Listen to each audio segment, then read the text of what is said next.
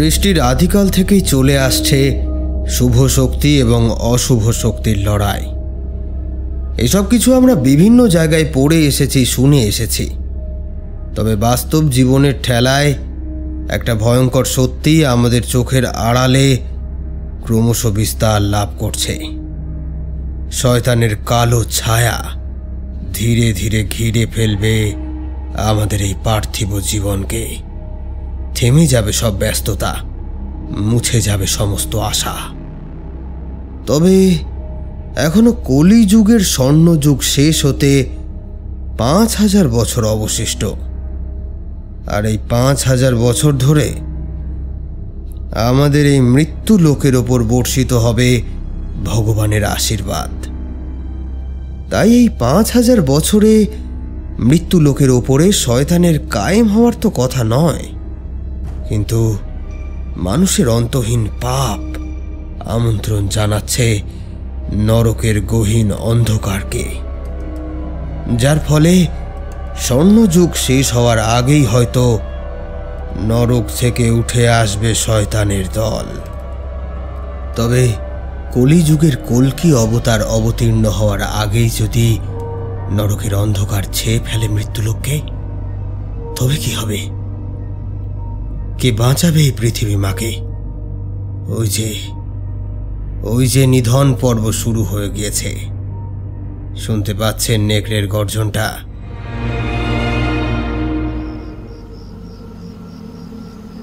মস্ত রূপালী থালার মতো পূর্ণিমার চাঁদ উঠেছে। জোছনা গায়ে মেখে পৃথিবীর বুকে মাথা রেখে নিশ্চিন্তে ঘুমোচ্ছে ছবির মতো সুন্দর একটি গ্রাম। রূপলি টলটলে দিঘির জলে ঘাই মারছে ছোট বড় বিভিন্ন মাছ। থেকে থেকেই ঝিঝির ডাক আর জোনাকির আলো বুঝিয়ে দিচ্ছে, ওগুলো শুধু মানুষের হাতে রোয়া ধান ক্ষেত নয়, ওগুলো হলো প্রকৃতির নিজস্ব কনসার্ট হল। মাঝে মাঝে মৃদুমন্দ বাতাস মেঠো পথের ধুলো উড়িয়ে বয়ে চলেছে, আর রূপালি ডানায় ভর করে সেই হাওয়ায় ইতিউতি ভেসে বেড়াচ্ছে কিছু রাত চড়া পাখি। মিষ্টি জোছনায় ভেসে যাচ্ছে যাবতীয় দৃশ্যপট।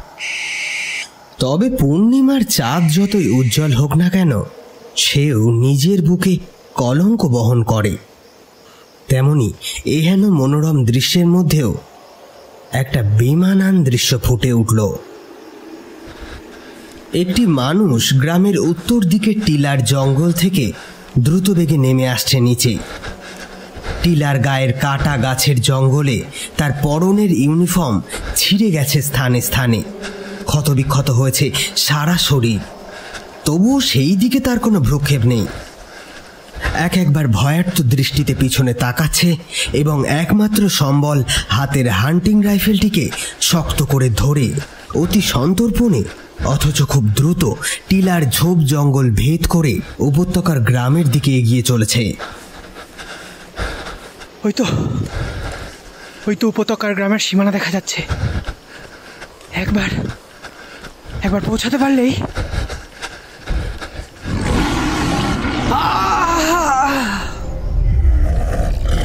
পুরো কথাটা শেষ করতে পারে না। তার আগেই প্রবল যন্ত্রণায় কোকিয়ে উঠেছে। জন্তুটার রাক্ষসে থাবা। ততক্ষণে ওর কোমরের নাগাল পেয়ে গিয়েছে। টাল সামলাতে না পেরে এবার সে পাথরে জমির উপরে মুখ থুবড়ে পড়ে। এমন সময় অনুভব করে এক ভয়ঙ্কর চাপে তার ডান পাটি শরীরের থেকে আলাদা হয়ে গেল। এক প্রবল যন্ত্রণায় কোকিয়ে উঠল সে। তবে তার চিৎকারকে ছাপিয়ে রাতের নিস্তব্ধতাকে খান খান করে দেয়। এক রক্ত জল করা গর্জন। জ্ঞান হারাবার পূর্ব মুহূর্তে লোকটি দেখে আততাই চার পায়ের ভর ছেড়ে এবার দুই পায়ে দাঁড়িয়েছে। পর মুহূর্তেই এক ধারালো আঘাতে লোকটির দৃশ্যপট অন্ধকার আচ্ছন্ন হয়ে পড়ল। টিলার ঢাল বেয়ে গড়িয়ে যেতে লাগল একটি কাটা মুন্ড। হাড় হিম করে দেওয়া নেকড়ের গর্জনে মুহূর্তে পাল্টে গেল উপত্যকার এই সুন্দর গ্রামের সুখময় মুহূর্তগুলি।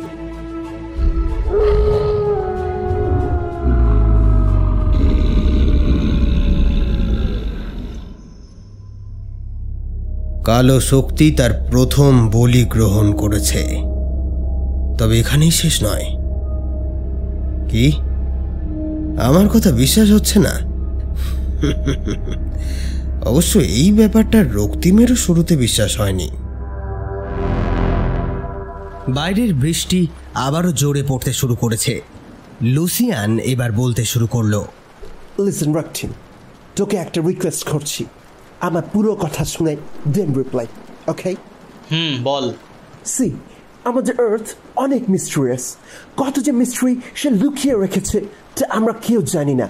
অ্যান্ড এই মিস্ট্রিয়াস আর্থ তার বুকে কত অজানা প্রাণী আমাদের মানব চক্ষু আড়ালে লুকিয়ে রেখেছে তারও কোনো হিসেব নেই। একটু থামল লুসিয়ান।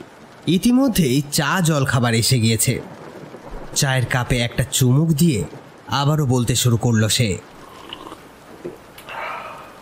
লুক আমরা মানে মানুষরা আগে এক রকমের এপস ছিলাম। তারপর এভলিউশনে এক একটি স্টেপে এসে লেজ খসিয়ে, গায়ের লোম খসিয়ে দেন আজকে মডার্ন সভ্য মানুষ হয়েছি। আচ্ছা হ্যাভ ইউ এভার থট যদি কোনো স্পেসিফিক কন্ডিশনে সেই জেনেটিক সাইকেলটি রিভার্স হয়ে যায়? আই মিন টু সে কোনো বিশেষ অবস্থার সময় মানুষ থেকে আবার কোনো হিংস্র প্রাণীতে টার্ন করে যায়? Like a wolf?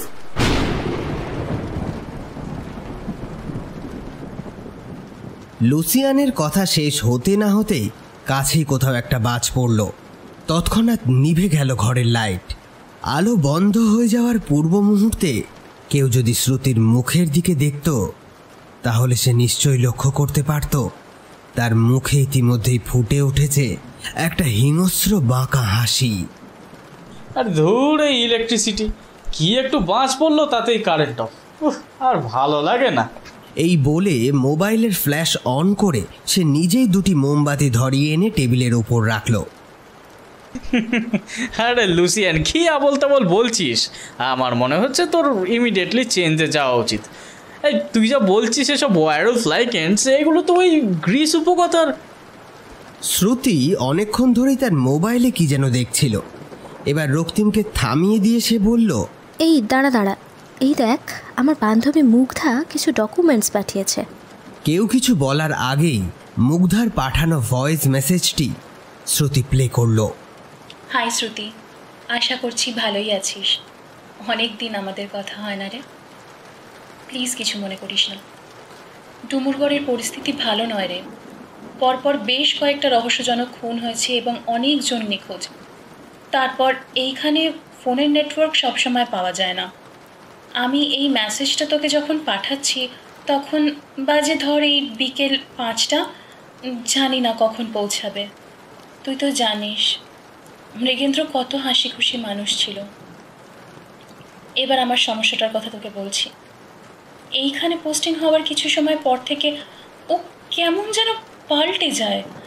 ছোট ছোট কথায় রেগে যায়, খুব রেগে গেলেই ওর শরীরে কেমন একটা পরিবর্তন আসতে থাকে। যেমন ধরো ওই মুখের জলটা ফুলে ওঠা, ওর হাতের পায়ের পেশিগুলো একটু অস্বাভাবিকভাবেই যেন বেড়ে ওঠে। আর ইদানিং ও আমার কাছে আসলেই ওর গা থেকে কেমন যেন জান্তব গন্ধ আসতে থাকে। যেমনটা ওই চিড়িয়াখানাতে বাঘের গায়ে পাওয়া যায়, ঠিক ওরকম। তবে আজকে একটা ব্যাপার লক্ষ্য করলাম। ও যখন বাথরুম থেকে স্নান করে বেরোলো, আমি তখন বাথরুমে গিয়ে যা দেখলাম, তুই তো বিশ্বাসই করতে পারবি না। আমি স্নান করতে বাথটাবে নামতে যাব? দেখি বাথটাবের মধ্যে এক গোছা কালো, লম্বা লম্বা লোম। কোনো মানুষের গায়ের লোম এত বড় এবং ঘন হতে পারে না। তোকে যে ছবিটা পাঠিয়েছি, দেখে নিস। আমি সত্যি বুঝতে পারছি না কি করব। ও, আর হ্যাঁ ডুমুরগড়ে একটা খুন হয়েছে। মৃগেন্দ্র ভুল করে সেই ফাইলগুলো বাড়িতে নিয়ে এসেছিল। আমি সেগুলো তোকে সব পাঠিয়ে দিলাম। এগুলো দেখে নিয়ে যত তাড়াতাড়ি পারিস, একটিবার তোরা আসিস পারলে কালই বেরিয়ে পড়। এইসব শোনার পর মোবাইলটা এক প্রকার কেড়েই নিল লুসিয়ান। সব ফাইলসগুলো এবং ছবিগুলো দেখতে থাকল সে।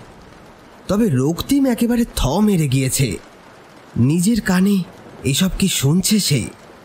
ঠিক এই একই রকম রোগের জন্যই ওর বাবাকে ডিভোর্স দিয়েছিল ওর মা।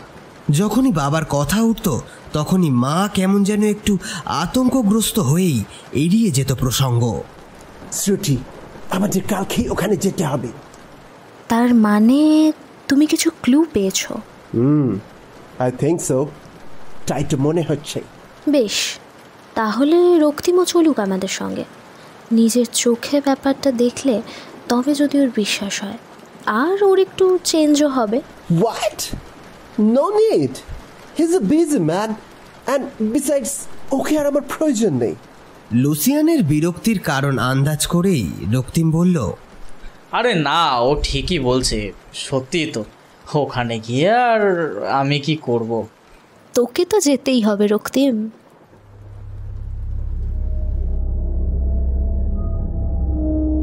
রক্তিমরা তখনও ডুমুরগড় এসে পৌঁছায়নি।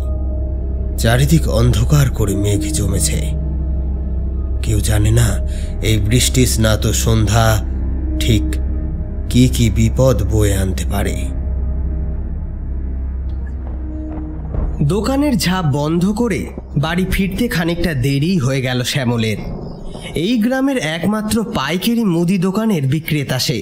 বেশ বড় লোক মানুষ, তাই গ্রামের সবাই তার তেলা মাথায় একটু তেল দিয়েই চলে। তবে দেরি হওয়ার আসল কারণ হলো হাতে ধরা দিশি মদের বোতলটা। এক ঢোক করে খাচ্ছে আর টলমলে পায়ে পথ চলছে। গ্রামে একের পর এক খুন হওয়ায় পুরো গ্রামটি ভয়ে সিটিয়ে রয়েছে। আগে সূর্য পাটে বসলেই গ্রামের বাড়ি বাড়ি থেকে ভেসে আসতো শঙ্খধ্বনি কাসর ঘণ্টার আওয়াজ। বুড়ো শিবতলার বট গাছের গোড়ায় শনি কালী মন্দিরে প্রায় প্রতি সন্ধ্যায় ঘটা করে পূজা আরতি হতো। প্রতিটি বাড়ির তুলসী মঞ্চ আলোকিত করত মাটির প্রদীপ। তবে এখন সেসবের বালাই নেই। সূর্য অস্ত যাওয়ার আগেই যে যার ঘরে হুড়কো তুলে দিয়ে বলির পাঠার মতো কাঁপতে থাকে। প্রকৃতির ডাক সামাল দিতে বাইরে বেরোনো এখন মানুষের পক্ষে মুশকিল হয়ে উঠেছে। যেই কেউ বেরোয়, তারপরেই একটি আর্তনাদ। ব্যাস, সে আর ফেরে না। এইভাবে ধীরে ধীরে মৃত্যুর করাল অন্ধকার যেন গ্রাস করছে গ্রামটাকে। এখন শুধু পুলিশ আর বন বিভাগের গাড়ির তীব্র আলো গ্রামের অন্ধকার দূর করার ব্যর্থ চেষ্টা করে টহল দিয়ে বেড়ায় রাস্তায় রাস্তায়। ওদিকে দক্ষিণের কালো মেঘের বুক চিরে বিদ্যুতের ঝলকানি দেখা যাচ্ছে। তবে সেই সবের দিকে বিশেষ ভ্রুক্ষেপ নেই শ্যামলের। নেশায় বিভোর হয়ে সে গান ধরেছে।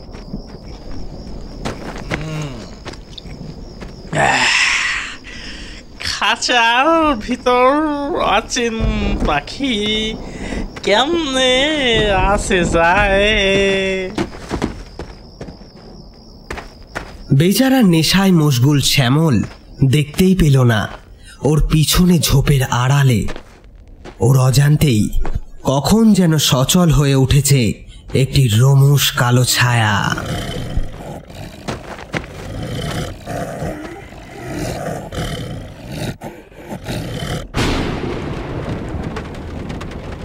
এই রক্তিম একটু গুগল ম্যাপটা দেখ না। আর কত দূর বলতো হুম দেখছি। তবে নেটওয়ার্কের যা হাল উম, হুম এই তো দেখাচ্ছে। আর ওই বারো কিলোমিটার মতো যেতে হবে। যা রোড কন্ডিশন তাতে করে রাত্রি আটটার আগে পৌঁছাতে পারলে হয়। অ্যান্ড অ্যান্ড শ্রুতি তোমার তোমার ওই ফটোশুটে ন্যাকামি করার কি খুব দরকার ছিল? শ্রুতির মুখটা অভিমানে কালো হয়ে উঠল। আরে লুসিয়ান বাবা অত বকুনি ওকে। আমার শ্রুতিমা ছোট মানুষ, একটু শখ করে না হয় ছবিই তুলিছে। তাতে কি বা দেরি হইছে এমন? শুনিছি গাড়ি চালাতে চালাতে মাথা গরম করতে নেই। তুমি সাবধানে সামনে দেখি গাড়ি চালাও। জয় মা ভবানী, জয় মা ভবানী। আউ, তা তোমার কি মনে হয় বাবুদা আমি কি করছি? পিছনে বসে ওই ফালতু লেকচার না দিয়ে এইদিকে সে গাড়িটা ড্রাইভ করে দেখি। আর শিক্ষিত গিয়েও কোথাকার? সাবধান লুসিয়ান। রক্তিম হুঙ্কার ছেড়ে ওঠে। ওর কপালের শিরাগুলো আবারও ফুলে উঠেছে। মাইন্ড ইউর ল্যাঙ্গুয়েজ লুসিয়ান তুমি এক্ষুনি রামুদার কাছে ক্ষমা চাইবে। কার সাথে কীভাবে কথা বলতে হয় তুমি এখনও সেটাই শেখোনি। আরে বাবা থাক থাক। বাচ্চা মানুষ মাথা গরম আছে কি বলতে কি বলি ফেলিছে? ঠিক আছে থাক থাক। লুসিয়ান যেন কি একটা বলতে যাচ্ছিল এমন সময় হঠাৎ একটি শব্দ করে গাড়ির পিছনের চাকাটি বসে গেল। উফ গড ড্যাম এদিকে ধীরে ধীরে বৃষ্টিটাও আরম্ভ হয়েছে।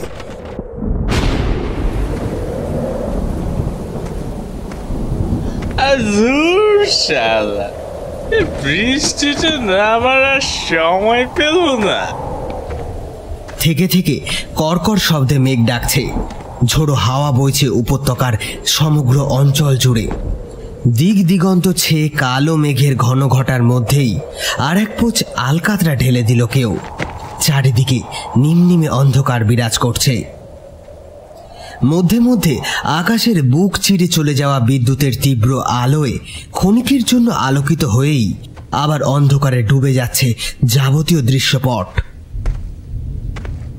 পকেট থেকে টর্চ বার করে চলতে লাগল শ্যামল। টর্চের আলোয় যেটুকু দেখা যাচ্ছে, তাতে বোঝা যায় চারিদিকে ধান ক্ষেতের জল এরই মধ্যে মেঠো পথের সীমানা ছুঁয়েছে। তবে বেশ কিছুক্ষণ ধরেই শ্যামলের মনে হচ্ছিল কেউ বুঝি ওর পিছু নিয়েছে।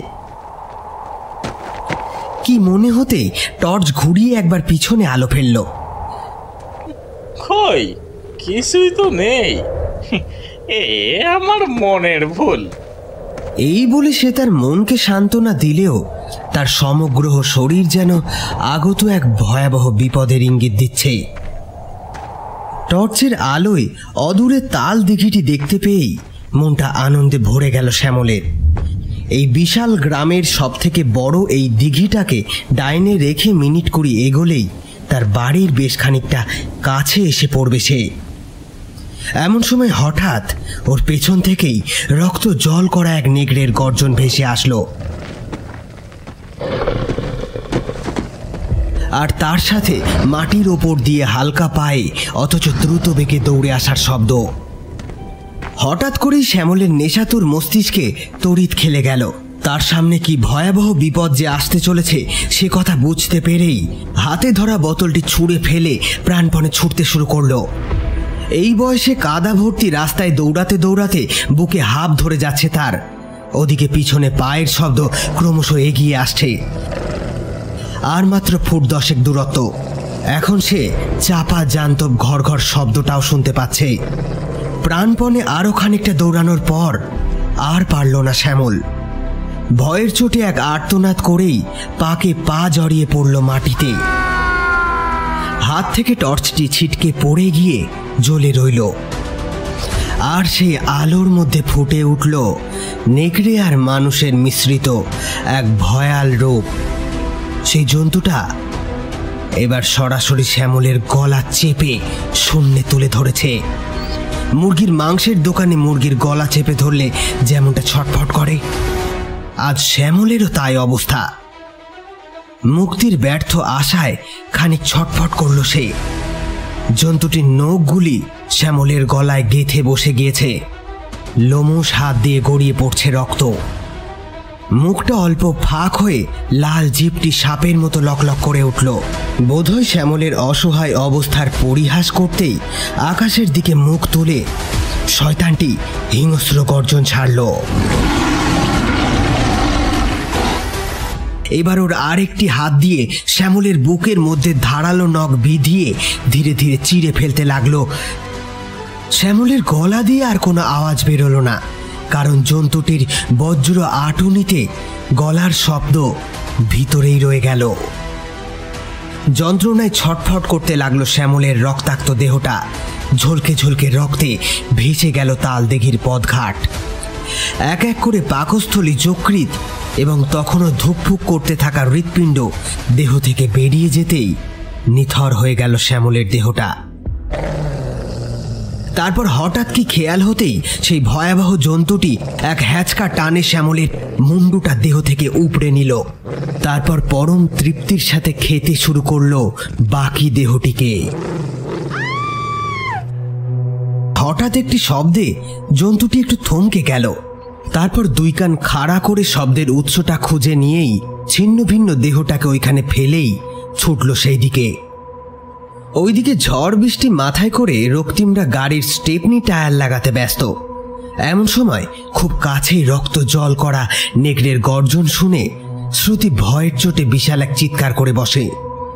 শহুরে মেয়ের পক্ষে এমন করাটা খুব একটা অস্বাভাবিক কিছু নয়। বাধ্য হয়েই রক্তিম মুখ চেপে ধরে তার। আস্তে আস্তে। নেকড়ের শ্রবণ শক্তি কিন্তু প্রচণ্ড। কিচ্ছু হয়নি। এই এই তো এই তো, আমি আছি, কিচ্ছু হয়নি কিচ্ছু হয়নি।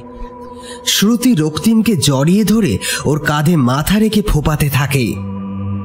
তবে কাঁধে মাথা রাখার পর তার মুখে যে একটা পাশবিক হাসি ফুটে উঠেছিল, সেটা বোধহয় রক্তিম খেয়াল করেনি। স্টেপনি লাগানো শেষ হলে লুসিয়ান পুরনো চাকা গাড়িতে তুলতে যাবে। এমন সময় ওদের গাড়ির থেকে হাত বিশেক দূরে একটি ঝোপ নড়ে চড়ে উঠল।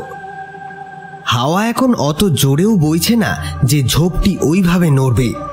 গাড়ির মধ্যে টর্চ হাতে বসে থাকা গ্রাম্য মানুষটি ব্যাপারটি বেশ টের পেয়েছে।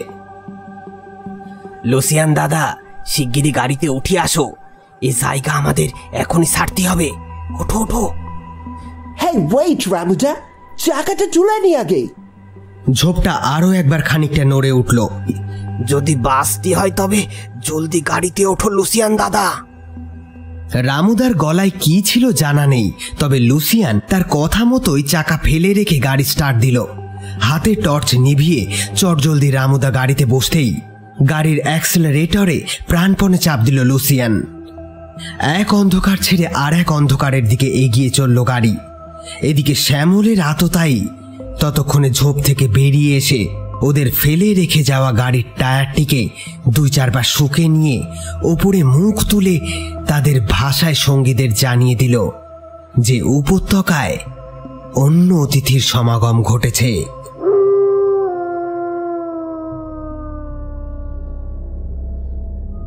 ডুমুরগড়ে রক্তিমরা এসে পৌঁছানোর পর থেকেই একের পর এক হত্যা হতে থাকে। রক্তিমের অবিশ্বাসের শক্ত দেওয়ালটায় চির ধরায় একটা গভীর রাতের দৃশ্য। তার সন্দেহটা কি সত্যি, নাকি মিথ্যা? সেটাই যাচাই করার জন্য রক্তিম নিজের মতন করে তদন্ত চালাতে থাকে। বাড়ি থেকে বেরিয়েই রক্তিম প্রথমে বাড়ির আশেপাশের জায়গাটা ঘুরে নিল। একদম উত্তরে, অর্থাৎ প্রকাণ্ড এই বাড়ির পিছন দিকে, যেখান থেকে টিলার রাস্তা উঁচু হয়ে উঠতে শুরু করেছে। সেই দিকে বিভিন্ন আগাছা জন্মে জায়গাটা জংলা মতো হয়ে আছে। ওইখানেই বেশ কিছুটা জায়গা জুড়ে মাছি ভোঁ ভোঁ করে উড়ে বেড়াতে দেখে রক্তিমের কি জানি মনে হলো। সে ধীরে ধীরে সেই দিকে এগিয়ে চলল। কাছাকাছি আসতেই এক বিষম দুর্গন্ধে বমি উঠে আসতে লাগল তার। যেন এক মাসের বাসি মরা কেউ ওই জায়গায় ফেলে রেখেছে। তৎক্ষণাৎ নাকে রুমাল বেঁধে ওই জায়গাটা ভালো করে দেখতে লাগল। পুরো জায়গা জুড়ে রক্ত শুকিয়ে গিয়ে ঘাসের ওপরে কালচে পাতলা আস্তরণ ফেলেছে। আর একটু এগিয়ে যেতেই একটা জিনিস চোখে পড়ল রক্তিমের, এবং সেই সাথে এই দিনের বেলাতেও তার আত্মারাম যেন খাঁচা ছাড়া হয়ে যেতে চাইল। ও যেখানে দাঁড়িয়ে সেখান থেকে অনতি দূরেই মানুষের মাথার করটি, বুকের পাঁজর ইত্যাদি ছড়িয়ে ছিটিয়ে রয়েছে। হাড়গুলোতে এখনও লালচে রক্ত মাংস লেগে। অর্থাৎ গতকাল বৃষ্টি থামার পরপরই হয়তো এই হতভাগ্যকে ছিঁড়ে খুঁড়ে খেয়েছে শয়তানের দল। এমন সময় আর একটা জিনিস নজরে পড়ল তার। সেই ছড়ানো ছিটানো হাড়গুলির থেকে একটু দূরেই কিছু একটা সূর্যের আলোয় চকচক করছে। সামনে যেতেই ও দেখল ওটা একটা রূপোর হার। একটা ছোট্ট ফাঁপা লাভ পেন্ডেন্টও রয়েছে তাতে রক্তিম জানে এই ধরনের লকেট খোলা যায়। অত্যন্ত ঘৃণা ভরে সেই নরক থেকে রূপোর চেনটা তুলে নিল সে। এদিকে ওদিকে ঘুরিয়ে একটা জায়গায় হালকা চাপ দিতেই লকেটটা খুলে দুই ভাগ হয়ে গেল। তার এক পাশে রয়েছে মৃগেন্দ্র আর অন্যদিকে মুগ্ধার ছবি। কি ভীষণ এক সন্দেহ হতেই মুগ্ধার ফেসবুক প্রোফাইলটা খুলল রক্তিম। হ্যাঁ তার সন্দেহই ঠিক। কাল রাতে অতটা খেয়াল হয়নি, তবে আজ সকাল থেকেই মুগ্ধার গলায় এই চেন আর সে দেখতে পাচ্ছে না। আর তাছাড়া গতকাল গভীর রাতে রক্তিম যে দৃশ্য দেখেছিল, সেই সমস্ত ঘটনাগুলিকে আজকের এই ঘটনাগুলির সাথে একই সূত্রে গাঁথলে যা দাঁড়ায় তার মানে হল, কি মনে হতেই ইন্টারনেট খুলে রক্তিম আজকের তিথিটা দেখে নিল। সর্বনাশ, আজ যে পূর্ণিমা। অর্থাৎ তাদের হাতে আর মাত্র কয়েক ঘণ্টা অবশিষ্ট আছে। হঠাৎ একটি দৃশ্য চোখের সামনে ফুটে উঠল। সেই একই স্বপ্ন যা ও প্রতিদিন দেখে আসছে। সে যতবারই স্বপ্নটি দেখেছে, ততবারই ওই তিনটে মানুষের মুখ সে দেখতে পায়নি। তবে আজ সে দেখতে পেল। ক্রন্দনরতা মহিলাটা যখন তার বাচ্চাকে কোলে চেপে ধরল, তখন সে দেখতে পেল ওই মহিলাটি আর অন্য কেউ নয়, তার মা। আর তার কোলের বাচ্চাটি হুবহু তারই মতো দেখতে না? তার মানে লোকটি? হ্যাঁ লোকটি তো তার বাবা। এবার আরেকটি দিকে চোখ গেল তার। একটি পাত্র উল্টে মাটিতে পড়ে আছে, আর তার থেকে এক প্রকার কালচে লাল ফুটন্ত তরল বেরিয়ে ভিজিয়ে দিয়েছে ওর পায়ের সামনের মাটি। তার মানে এটা রক্তিমের দেখা নিছক কোনো দুঃস্বপ্ন নয়। যদি এটা সত্যি হয়, তাহলে তো না, আর ভাবতে পারে না সে। এমন সময় তার ষষ্ঠ ইন্দ্রিয় তাকে যেন খানিকটা সচেতন করে দিতে চাইল। ওর মনে হলো মৃগেন্দ্রর বাড়ির খোলা জানলা দিয়ে কেউ যেন ওর দিকে তাকিয়ে রয়েছে। সেদিকে মুখ ফেরাতেই এক নারী মূর্তি জানলার ওপাশ থেকে সরে গেল।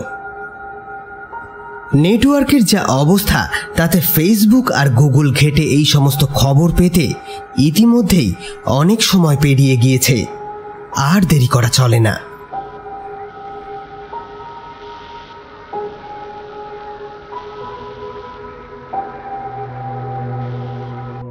গতকাল গাড়িতে বসে প্রচণ্ড বিরক্ত লাগছিল রক্তিমের।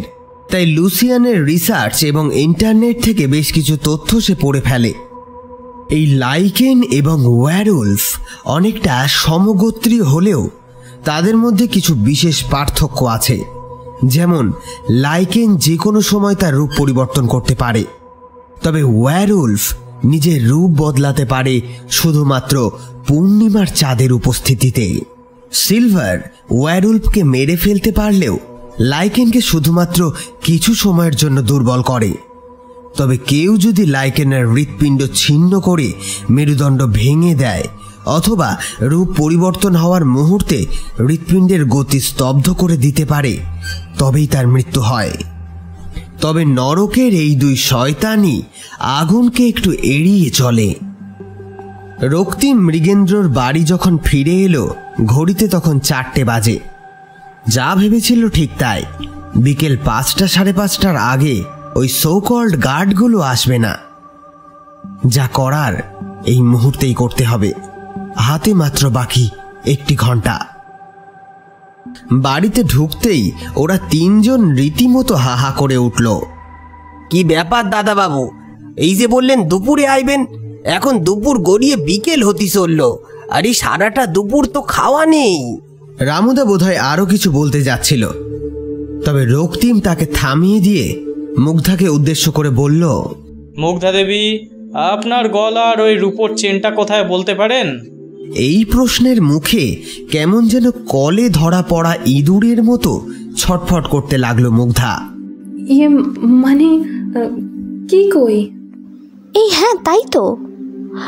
মুগ্ধা যে লকেটটা তুই কোনোদিনও কাজ ছাড়া করতিস না সেটাকে খুলে রেখেছিস। শ্রুতির কথা শুনে যেন সন্দেহের অতল জলে ডুবে যেতে গিয়েও হাতের কাছে খড়কুটো খুঁজে পেল সে। বেশ একটা স্বস্তির নিঃশ্বাস ফেলে মুগ্ধা বলল হ্যাঁ হ্যাঁ ও- ওই তো খুলে রেখেছিলাম। এ বাবা ভুলেই গিয়েছিলাম তবে আপনার কাছে ওটা কি করে গেল? ওখানে আপনি নিশ্চয়ই চুরি করেছেন। দেখ শ্রুতি। একদম ঠিক। হ্যাঁ আমি এই চুরিটা করেছি। এবং আমি আমার নিজের দোষ স্বীকার করে নিচ্ছি আর চোরাই মাল আমি আপনার হাতে তুলে দিতে চাইছি। এই নিন। এই বলে রূপোর চেনটা নিয়ে মুগ্ধার দিকে এগোতেই ওর চোখ মুখটা ভয়ে কেমন যেন বিকৃত হয়ে ওঠে। না না ও- ওটা আপনি টেবিলে রেখে দিন। আমি ওইখান থেকেই নিয়ে নেব। আরে দিদিমণি আমার দাদাবাবু তো ক্ষমা সেই নিয়েছে। এবার রক্তিমের হাত থেকে চেনটা নিয়ে রামুদা খানিকটা জোর করেই মুগ্ধার হাতে গুজে দিল। এই নিন আপনার জিনিস আপনি নিয়ে নিন। এ হলো মা লক্ষ্মী এরে অবহেলা করতে নেই। মুহূর্তে এক ঘটনা ঘটে গেল। ঘরে উপস্থিত সবাই দেখল মুগদার হাতের যে জায়গায় রূপোর চেনটা জোর করে গুজে দিয়েছিল রামুদা, সেই জায়গাটি আশ্চর্য রকমভাবে পুড়ে গিয়েছে। হাত চেপে ধরে মুগ্ধার যন্ত্রণায় গোঙাচ্ছেই।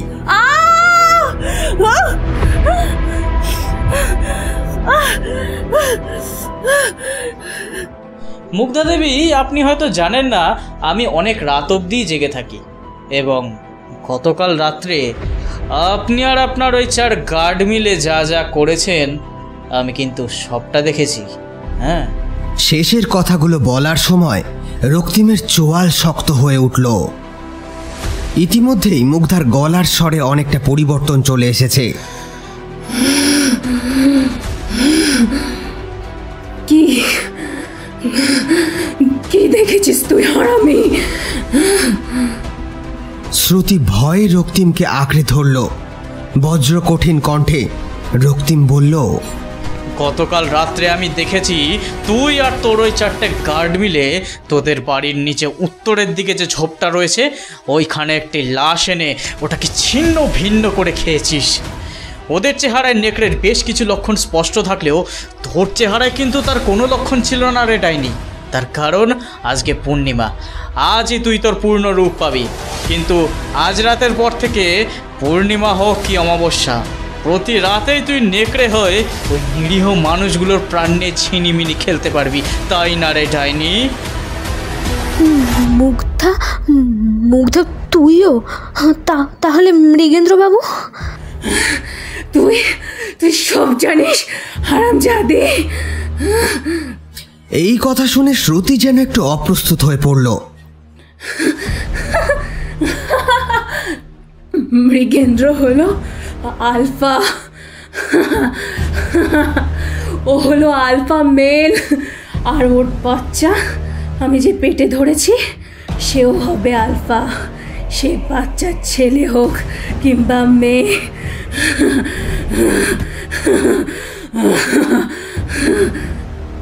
এইসব কাণ্ড দেখে অনেক আগেই বিপদের আঁচ পেয়েছিল রামুদা। ঘটনার বিভৎসতায় শ্রুতি রক্তিম কেউই রামুদাকে খেয়াল করেনি। এমন সময় জয় মা ভবানী। বলে রান্নাঘরের সবজি কাটা ছুরিটা নিয়ে মুগ্ধার পিঠে বসিয়ে দেয় বার কয়েক। ওদিকে আধ ঘণ্টা হয়ে গিয়েছে। সূর্যদেব তার পরিক্রমা শেষ করে পশ্চিমে টিলার পিছনে অদৃশ্য হয়েছে। সমস্ত উপত্যকা জুড়ে আবারও শুরু হতে চলেছে একটি অভিশপ্ত পূর্ণিমার রাত। এদিকে মুগ্ধার শরীরে ভর করেছে অসীম শক্তি। চোয়ালটা ফুলে উঠেছে তার। ফাঁক দিয়ে বেরিয়ে রয়েছে বিভৎস দাঁতের শাড়ি। তুই মার, বুড়ো, তুই মার। এই বলে এক ভয়াবহ আক্রোশে রামুদার চোয়ালে মারল এক থাবা। তৎক্ষণাৎ রামুদার শরীরটি ছিটকে দূরে গিয়ে পড়ল। দরদর করে রক্ত বেরোচ্ছে তার গলা বেয়ে। খানিকটা মাংসও উঠে গিয়েছে। রক্তিম ছুটে গেল রামুদার কাছে। পাশে বসে মাথাটা কোলে রেখে কাঁদতে থাকল। এদিকে মুগ্ধার সারা শরীরে দেখা দিয়েছে সেই নারকীয় পরিবর্তন। তবে সেসবের দিকে রক্তিমের খেয়াল নেই। রামুদার এহেন অবস্থায় তার সারা দুনিয়া যেন ওলট পালট হয়ে যেতে চলেছে। নিজের অজান্তেই মায়ের হাতে নকশা করা রুমাল দিয়ে সে এখন রামুদার ক্ষতস্থানটি বেঁধে দিতে ব্যস্ত। ওদের কারোরই খেয়াল নেই, টিলার ফাঁক থেকে ধীরে ধীরে উকি মাছে রূপলি থালার মতো পূর্ণিমার চাঁদ। মুগ্ধার মুখ থেকে বেরিয়ে আসছে গর্জন। তবে এখনও পুরোপুরি সেই ভয়াবহ পৈশাচিক জন্তুতে রূপান্তরিত হয়নি সে। তার শরীরে একটু একটু করে পরিবর্তন আসছে। এই দৃশ্য দেখে প্রতিহিংসার আগুনে ধক করে জ্বলে ওঠে রক্তিমের চোখ। শ্রুতির পায়ের কাছে পড়ে থাকা শাবলটার দিকে ইশারা করল সে। এটা সেই শাবল যেটা মুগ্ধা ওর কাছে নিরাপত্তার জন্য রেখে দিত। যখন সে সুস্থ মানুষ ছিল। তবে কি আশ্চর্য, শ্রুতি যেন ইশারা বুঝেও বুঝলো না। খুব যেন ভয় পেয়েছে এমন একটা ভাব করে কাঁদতে কাঁদতে রামু তার সাইত দেহের কাছে গিয়ে বসল। ওদিকে মুগ্ধা ধীরে ধীরে এগিয়ে আসছে রক্তিমের দিকে। তার হাত পা মুখ পেটের পেশিগুলি বৃদ্ধি পাচ্ছে। রক্তিমার কাল বিলম্ব না করে এক লাফে শাবলটার কাছে পৌঁছে গেল। নিজের বিপদ আসন্ন বুঝে মুগ্ধাও রক্তিমের গলা লক্ষ্য করে এক ঝাঁপ দিল। তবে ততক্ষণে রক্তিম নাগাল পেয়ে গিয়েছে শাবলের। মুগ্ধার ধারালো নখ বিশিষ্ট বাহু রক্তিমের থেকে মাত্র দুই হাত দূরে। এবার শূন্যে লাফিয়ে উঠল লাইকেন আর ওয়ারুলফের মিশ্রণ শরীর ধারণকারিণী মুগ্ধা। তার ধারালো থাবা রক্তিমের গলার দিকে ছুটে আসতেই মুগ্ধার বুকের বাদিক লক্ষ্য করে বজ্রের মতো গতিতে হাতে ধরা শাবলের ধারালো দিকটি ঢুকিয়ে দিল রক্তিম।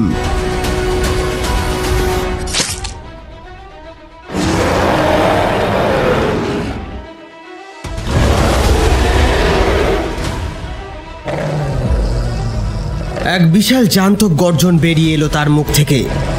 না, সে এখনও মরেনি। ওই অবস্থাতেই হাচর পাচর করে রক্তিমের চামড়ার নাগাল পেতে চাইল তার ধারালো নখ। এবার রক্তিম দেহের সমস্ত শক্তি নিক্ষেপ করে একবার বাদিক এবং তারপর একবার ডান দিকে মোচড় দিল শাবলটাকে।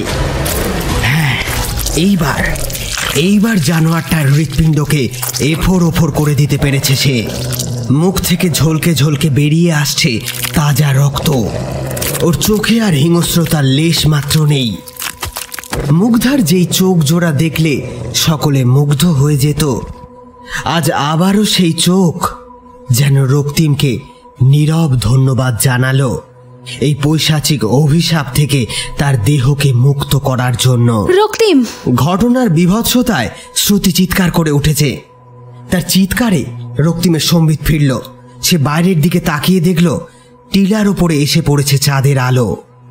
যারা এতদিন গার্ড রূপে নিজের আত্মগোপন করেছে সেই চার শয়তানের আসার সময় হয়ে গিয়েছে। আর বিলম্ব করা চলে না। শ্রুতি আমাদের যা করা তাড়াতাড়ি করতে হবে। তুই বরঞ্চ রামুদাকে নিয়ে গাড়িতে ওঠ। লুসিয়ানের গাড়ির এক্সট্রা চাবিটা তোর কাছে আছে। গাড়িটা নিয়ে স্টার্ট দিয়ে বাড়ি থেকে বেশ কিছুটা দূরে গাড়িটা দাঁড় করা। কেমন? কিন্তু তুই? আরে বাবা যা বলছি তুই শিগগিরই কর। আমাদের এখান থেকে পালাতে হবে।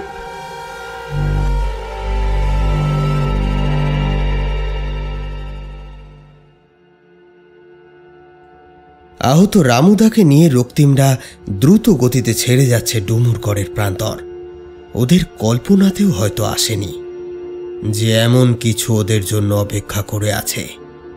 কিন্তু জীবন সেই অত সহজ নয়। আহত রামুদার মধ্যে ফুটে উঠছে লাইকেনের সমস্ত প্রতিরূপ। শ্রুতি গাড়ি চালাচ্ছে আর রক্তিম পিছনের সিটে রামুদার মাথাটা কোলে নিয়ে অশ্রুসিক্ত চোখে বসে আছে। কারোর মুখেই কোনো কথা নেই। এমন সময় রক্তিম দেখল, রামুদার ক্ষত বেমালুম শুকিয়ে গিয়েছে এবং তার শরীরেও একটু একটু করে স্পষ্ট হচ্ছে সেই ভয়ঙ্কর জীবটির বৈশিষ্ট্য। ভেঙে পড়লে চলবে না, নিজের মন শক্ত করতে হবে রক্তিমকে। সে শাবলটা রামুদার বুকের কাছে তুলে ধরে। ক্ষমা করো রামুদা। ওর গলা ধরে আসছে। শাবলটা বুকে বসিয়ে দিতেই যাবে এমন সময় হঠাৎ রামুদা চোখ মেলে তাকালো। কি ভয়ঙ্কর সেই চোখের দৃষ্টি। অন্ধকারে রক্তিমের বুক ধক করে উঠল। এক অদ্ভুত কায়দায় রক্তিমের হাত থেকে শাবলটি ছিনিয়ে নিয়ে মৃদু হেসে বলল দাদা বাবু তুমি আমারে ভয় পাচ্ছ। শোনো দাদা বাবু তুমি হইলে গিয়ে আমার সেলির মতো আমার শরীরে মা ভবানীর কৃপায় যতক্ষণ প্রাণ আছে ততক্ষণ তোমার কোনো ক্ষতি আমি হতে দেব না। রামুদা তুমিও? হ্যাঁ হ্যাঁ হ্যাঁ গো শ্রুতিমা আমিও এখন শয়তান হয়ে যাচ্ছি। এই এই দেখো এই দাঁতগুলো কেমন কেমন সুসলো সুসলো হয়ে উঠছে। রামুদা রামুদা তোমার কিচ্ছু হবে না। তুমি তুমি আমার উপর বিশ্বাস রাখো। হ্যাঁ তোমাকে শহরে নিয়ে গিয়ে একটা ভালো ডাক্তার দেখাবো। কিচ্ছু হবে না তোমার। না দাদা বাবু তার হয় না। আমার রক্তের মধ্যে এক অন্য শক্তি দৌড়চ্ছে। আমি আমি বেশ টের পাচ্ছি। আমার হাতে আর আমার হাতে আর বেশি সময় নেই। না না রামুদা না। তুমি তুমি এভাবে আমাদেরকে ছেড়ে চলে যেতে পারো না। না না। সবই বিধির বিধান দাদা বাবু তুমি আর আমি কেবল নিমিত্ত মাত্র। যাকে ওইসব কথা এখন কাজের কথা শোনো দেখি। এই এই নাও এটা ধরো। এই বলে একটা ছোট্ট রান্নার রেসিপি তুলে দেয় রক্তিমের হাতে ভাবতেছিলাম এখান থেকে ফিরে গিয়ে তোমারে আর শ্রুতি মারে একটু রান্না করি খাওয়াবো। তার হলো না বোধহয়। হ্যাঁ, তা তা শ্রুতি মারে এই- এইটা রান্না করে দিও হ্যাঁ? আর হ্যাঁ শ্রুতিমা বলো রামুদা। তুমি তো ইতিমধ্যেই জেনে ফেলিছো যে লুসিয়ান বাবা আর বেশি নেই মারা পড়েছে। কি বলছো কি রামুদা? হ্যাঁ আমি যখন অজ্ঞান হয়ে পড়েছিলাম তখন যেন দূর থেকে শুনতে পাচ্ছিলাম লুসিয়ান দাদাবাবুর এক মরণ চিৎকার। শ্রুতির মুখে কোনো ভাবাবেগ না দেখতে পেয়ে রক্তিম একটু আশ্চর্য হয়ে গেল।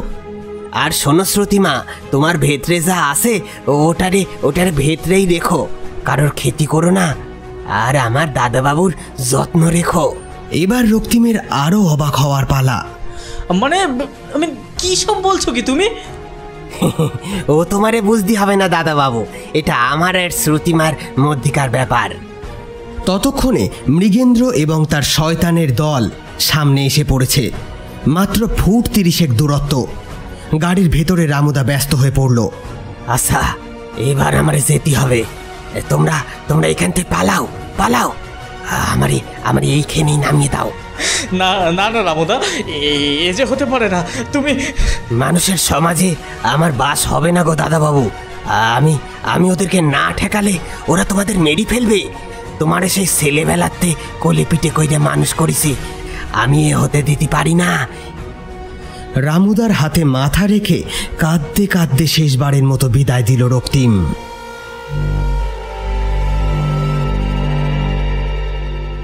গল্পের শুরুতে একটা প্রশ্ন চিহ্ন উঠেছিল।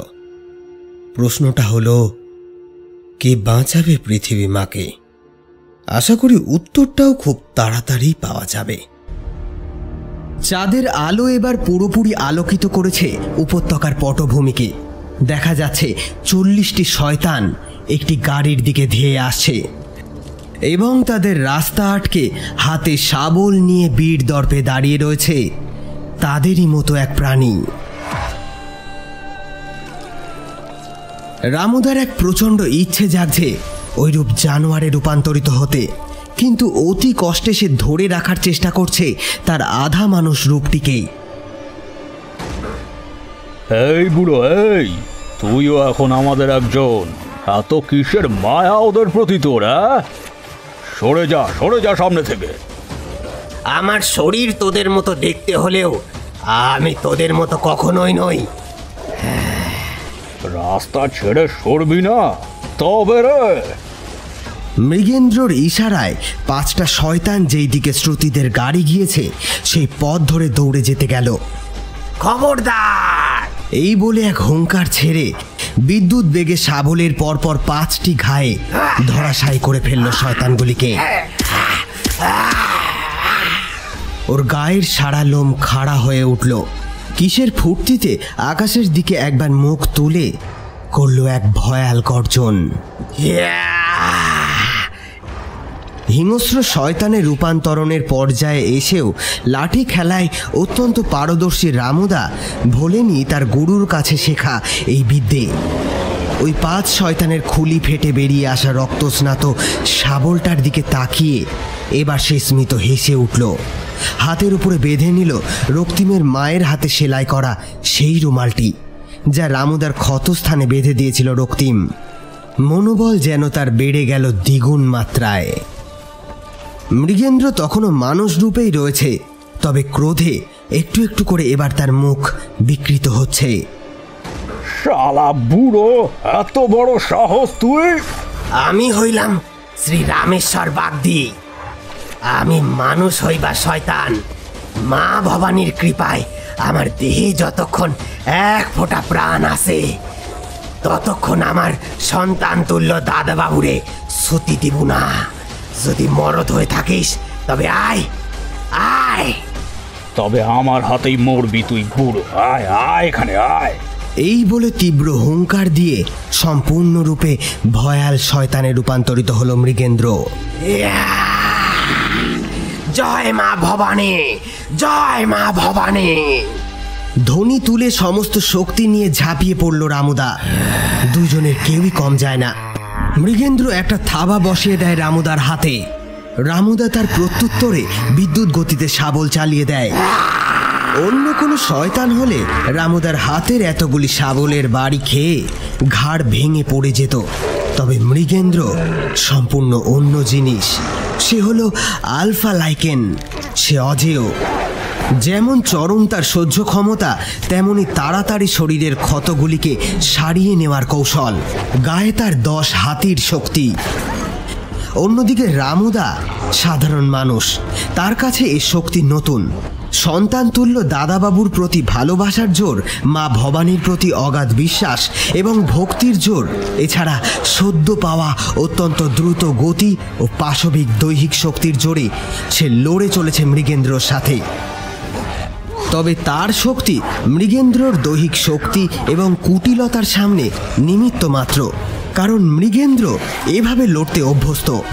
তার উপর এতগুলো প্রাণের বলি নিজ হাতে গ্রহণ করে সে হয়ে উঠেছে আরও শক্তিশালী, আরও ভয়ানক। দুই পক্ষে অনেকক্ষণ লড়াই চলতে লাগল। কেউ হার মানার পাত্র নয়।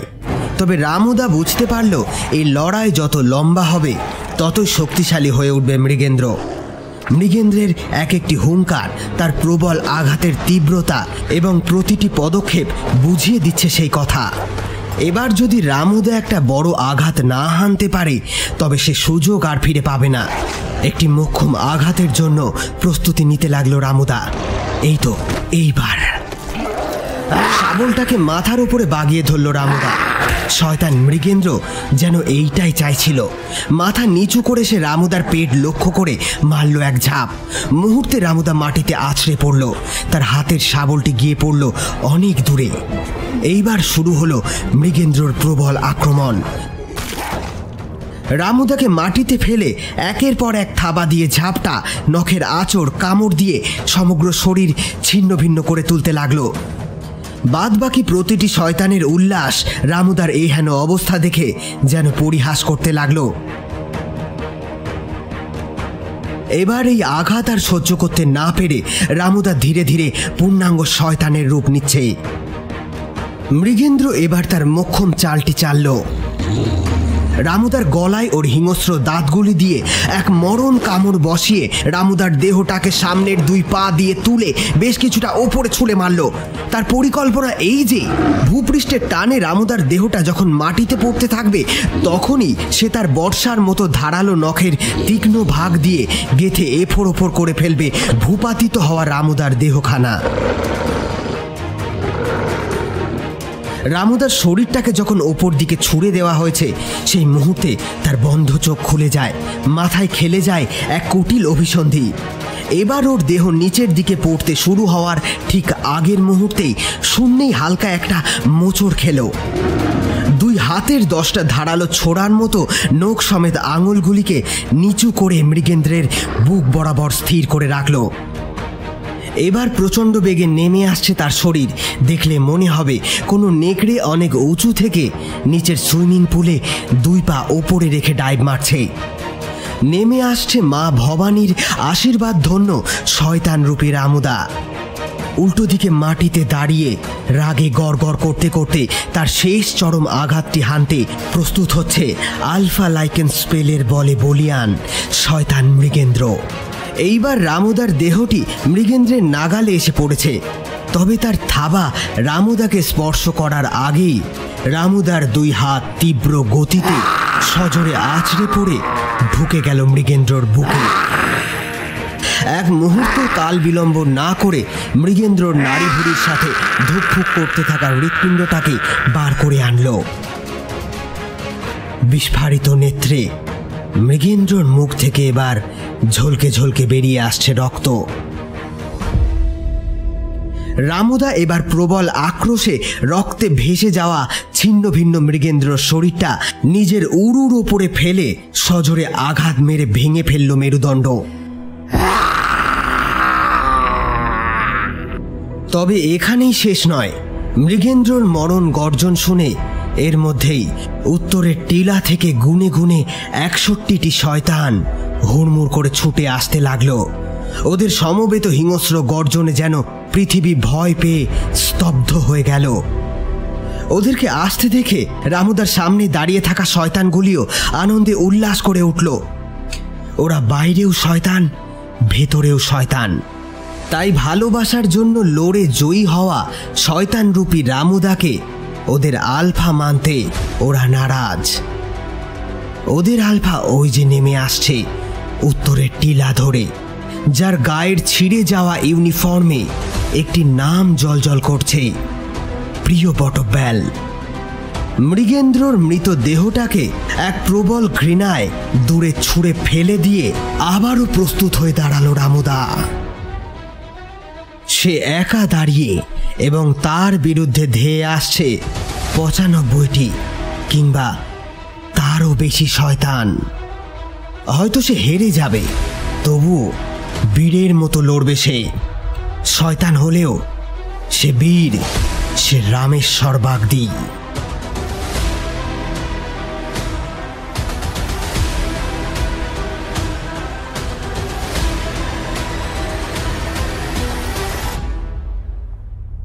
বেচারা রক্তিম এক ভীষণ ভয়ঙ্কর অভিজ্ঞতার সম্মুখীন হল। আমরা কি আর তাকে দেখতে পাব? নাকি দেখতে পাব কোনো এক অন্য রূপে, অন্য সাজে। দেখা যাক গল্পের গতি ঠিক ঠিক কোন দিকে নিয়ে যায়। বেশ কয়েক বছর পরের ঘটনা। কলকাতা পুলিশের কাছে এক অতি ভয়ঙ্কর ঘটনার তথ্য এসে পৌঁছায়। কি তথ্য? আসুন শুনে নিই, স্বয়ং অর্পণের মুখ থেকেই। Welcome to Kurseong mister Nag আমি বীরজু তামাং থানার বড়বাবু থ্যাংক ইউ এই বলে আমি উল্টো দিকের চেয়ারটায় বসলাম। উনি ভাঙা ভাঙা হিন্দি মিশ্রিত বাংলায় বললেন বাংলাটা একটু বলার চেষ্টা করছি আর কি। গলতিয়া মাফ করে দেবেন কিন্তু। ও বাই দি ওয়ে আপনার কথা আমি অনেক শুনেছি মিস্টার নাগ আসলে এইখানে যে হারে ক্রাইম বেড়েছে। হুম সবটাই পড়েছি আমি তবে এটুকু বুঝতে পারছি না যে সাধারণ মানুষকে এইভাবে খুন করার পিছনে মোটিভ কি হতে পারে। আচ্ছা এই খুন করার কি কোনো প্যাটার্ন আছে? বা ওই জাতীয় কিছু? খানিকটা হতাশ গলায় বললেন বীরজুবাবু। হুম নেই।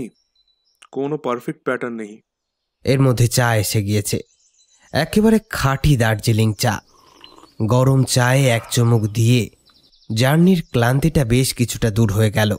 আমরা ইনভেস্টিগেট করে যেটা জেনেছি যে রাত বেশ গহেরা হলেই ভিকটিম নাকি ঘুমের মধ্যেই নিজে থেকেই ঘরের দরজা খুলে কোথাও একটা বেরিয়ে যায়। যে বেরিয়ে গেল সে আর ফেরে না। কথাগুলো শুনতে শুনতে আমার কপালে চিন্তার ভাঁজ পড়ল।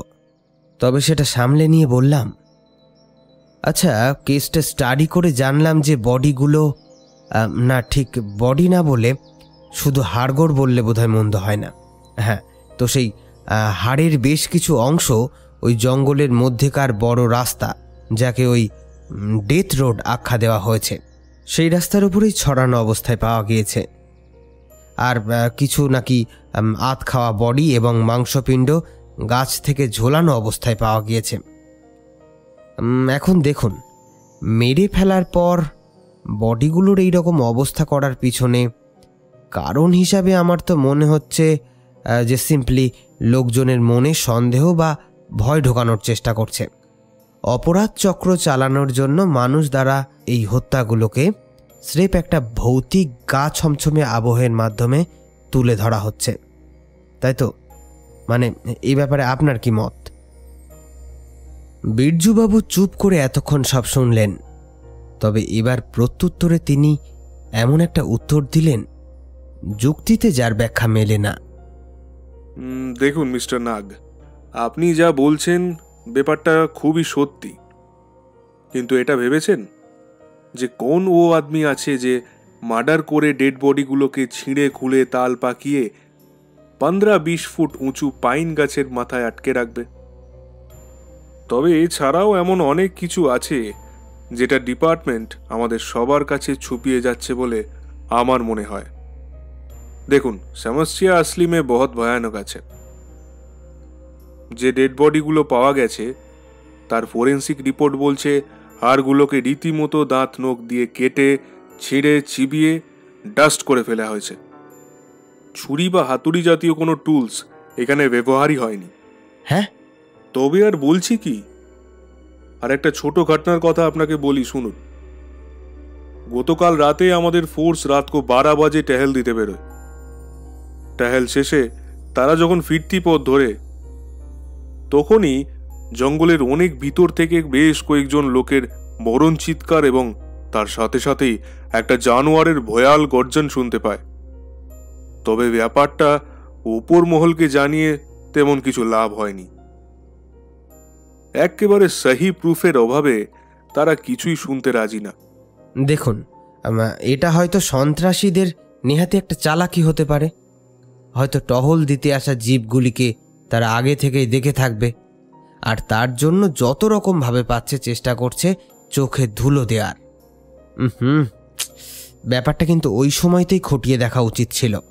দেখিয়ে মিস্টার নাগ ওরা ওই ঘটনার ফলে এতটাই কনফিউজড হয়ে পড়ে যে ব্যাপারটা কি তা দেখতে না গিয়ে ফিরে চলে আসে, আর সেটাই স্বাভাবিক।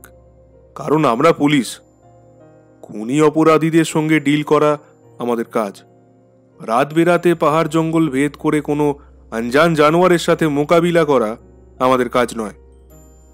আর তাছাড়াও, ও কয়েকটা পিস্তল রাইফেল নিয়ে রাতের অন্ধকারে ওই ঘনা জঙ্গলে এগোনোটা কি সহি হতো বলিয়ে? তা সকালবেলা গিয়ে কিছু পেয়েছিলেন?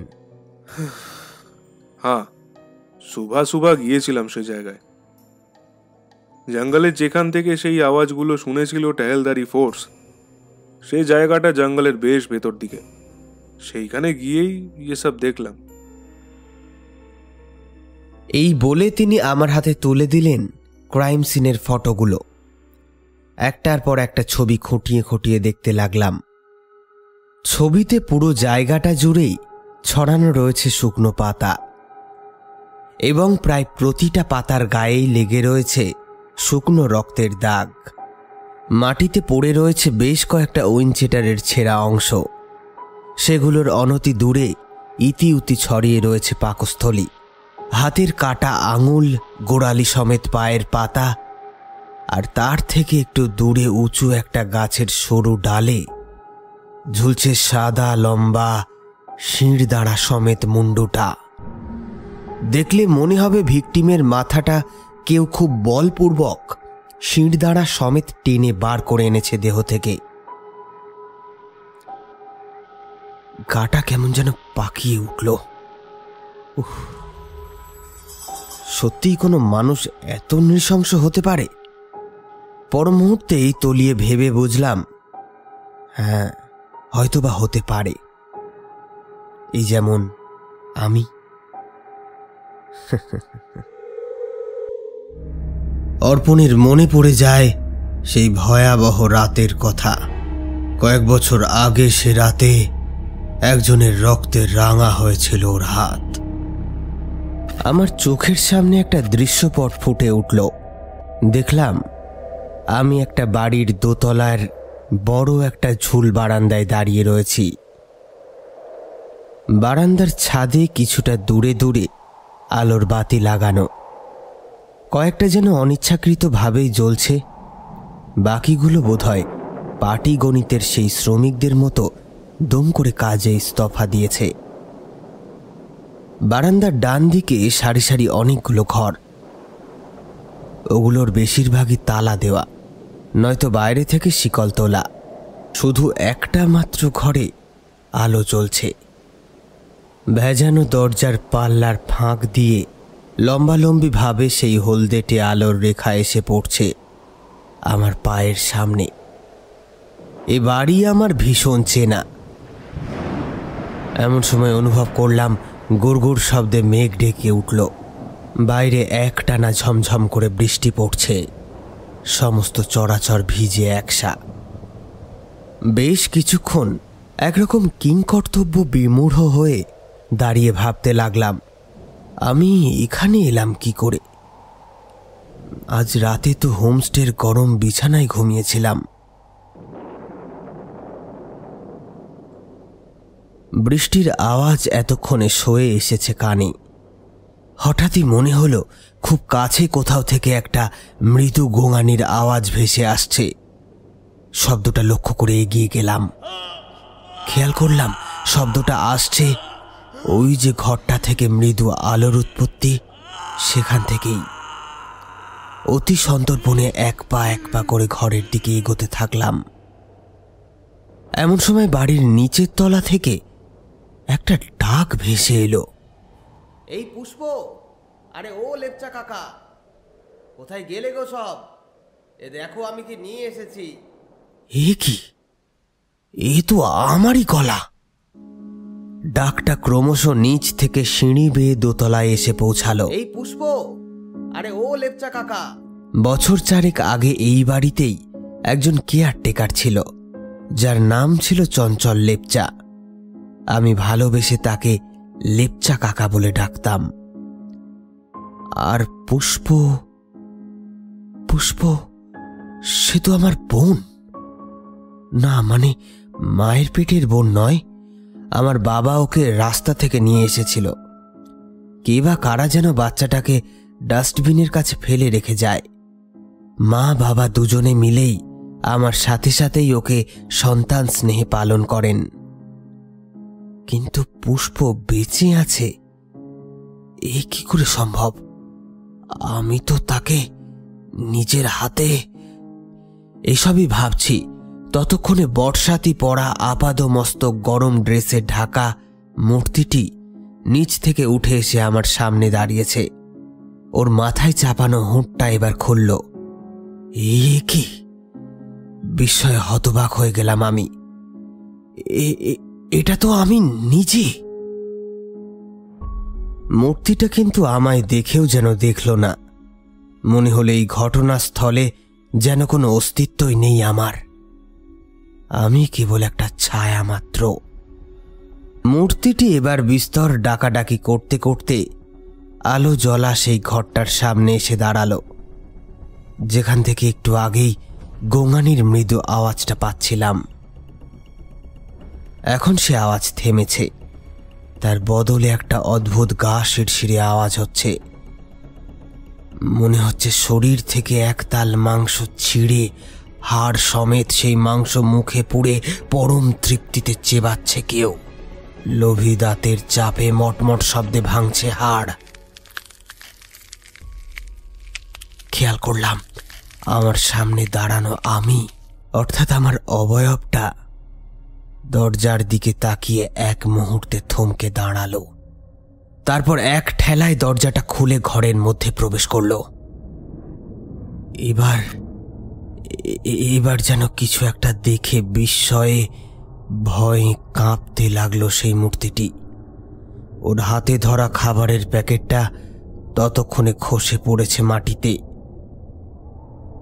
যদিও আমি বিলক্ষণ জানি সে কি দেখতে পাচ্ছে, তবুও গুটি গুটি পায়ে হেঁটে আমি সেই ঘরে ঢুকলাম। ঘরের হলদেটে আলোতে যা দেখলাম তাতে ভয়ে আতঙ্কে আমার হৃৎপিণ্ড যেন আরও একবার স্তব্ধ হয়ে যেতে চাইল। সারাটা ঘর ভেসে যাচ্ছে টাটকা লাল রক্তে। মেঝের ওপরেই রক্ত মাখামাখি হয়ে পড়ে আছে দুটি মানুষের শরীর, একটা জীবন্ত, একটা মৃত। জীবন্ত শরীরটা মৃত শরীরের থেকে খুবলে খুবলে মাংস খেয়ে চলেছে বুভুক্ষের মতো। ভীষণ খিদে তার। সর্বগ্রাহী কাল নাশি খিদে। বছর আঠেরোর এই বাচ্চা মেয়েটি এবার মৃতদেহের হৃৎপিণ্ডটা হাতে করে তুলে নিল।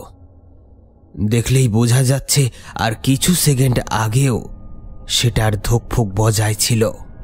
হৃৎপিণ্ডটা নিয়ে মুখে পড়ে পরম শান্তিতে চিবোতে লাগল। এইসব দেখতে দেখতে অন্নপ্রাশনের ভাত উঠে আসার জোগাড়। হঠাৎই মেয়েটার পেছনের দেওয়ালে একটা ঝোলানো ছবি লক্ষ্য করলাম, যেটা দেখে আমার হাত পা যেন একেবারে জমে যেতে চাইল। ছবিটার মধ্যে একটা মূর্তি আঁকা। মূর্তিটা যে ঠিক কোন প্রাণীর, তা ঠিক বুঝে উঠতে পারলাম না। তবে তার দর্শন যে অতীব পৈশাচিক, সে বিষয়ে কোনো সন্দেহ নেই। মূর্তিটার হাত পা সরু লিকলিকে লোমস হাতের থেকে গাছের ডালের মতো আঁকামাকা হয়ে বেরিয়ে আছে ধারালো ছোড়ার মতো বড় বড় নখ। প্রাণীটির মাথাটি অনেকটা হরিণের মতো, তবে অস্থিসার সেই মাথায় এতটুকু মাংস লেগে নেই। সম্পূর্ণ ধবধবে সাদা সে করটি। ঈষৎ হা করা মুখ থেকে সাপের মতো লকলকে জীব বেরিয়ে আছে। জন্তুটার মাথার উপরে হরিণের মতো আঁকা বাঁকা কালো শিং। অক্ষি কোঠর থেকে ধকধক করে জ্বলছে দুটি চোখ। গোটা ছবিটাতে আবার কে যেন একটা মানুষের বৃহদন্ত্র ঝুলিয়ে রেখেছে। দেখলে মনে হবে মালা করে পড়িয়েছে যেন। এবার মেয়েটি ধীরে ধীরে মুখ তুলে তাকালো আমার দিকে মানে আমার অবয়বটির দিকে। তার চোখের মনি খোলাটি। পুরো মুখটা কেমন সাদাটে মেরে গিয়েছে। গোটা মুখ জুড়ে লেগে রয়েছে রক্ত। ওই মৃতদেহ, অর্থাৎ লেপচাকাকার রক্ত। মৃতদেহের মুখটা যন্ত্রণায় বিকৃত হয়ে আছে। আর পেটের দিকের গভীর ক্ষত, সেখান থেকেই মাংস ছিঁড়ে ছিঁড়ে খাচ্ছে মেয়েটি। ভয়ে ঘেন্নায় আমার গা পাকিয়ে উঠল। এবার আমার অবয়বটি খানিকটা হতভম্ব হয়ে থেমে থেমে বলল পুষ্প, তুই কি করছিস? আর আর লেপচা কাকাকে তুই? মেয়েটা ওই নরম মাংস মুখে পুড়তে পুড়তেই বলল, খুব খুব খিদে পেয়েছিল দাদা। মাংসের খিদে হাতের কাছে হাতের কাছে লেপচা কাকা ছিল। তাই ওকেই ওর চোখে মুখে জিঘাংসা আর পাশবিকতার ছাপ স্পষ্ট। একটা গোটা জীবন্ত মানুষকে সে মেরে ফেলল। তবে তাতে কোনো দুঃখ বা অনুশোচনা নেই ওর। এবার আমার সামনের মানুষটি হুঙ্কার দিয়ে উঠল। তার মানে আমি যা ভেবেছিলাম তাই সত্যি? তুই তুই আসলে এতদিন ধরে বাড়ির পোলট্রি মুরগিগুলোকে কাঁচা গিলে এসেছিস। শয়তানি। আর আজকে লেপচা কাকাকে মারতে তোর এতটুকু হাত কাঁপলো না?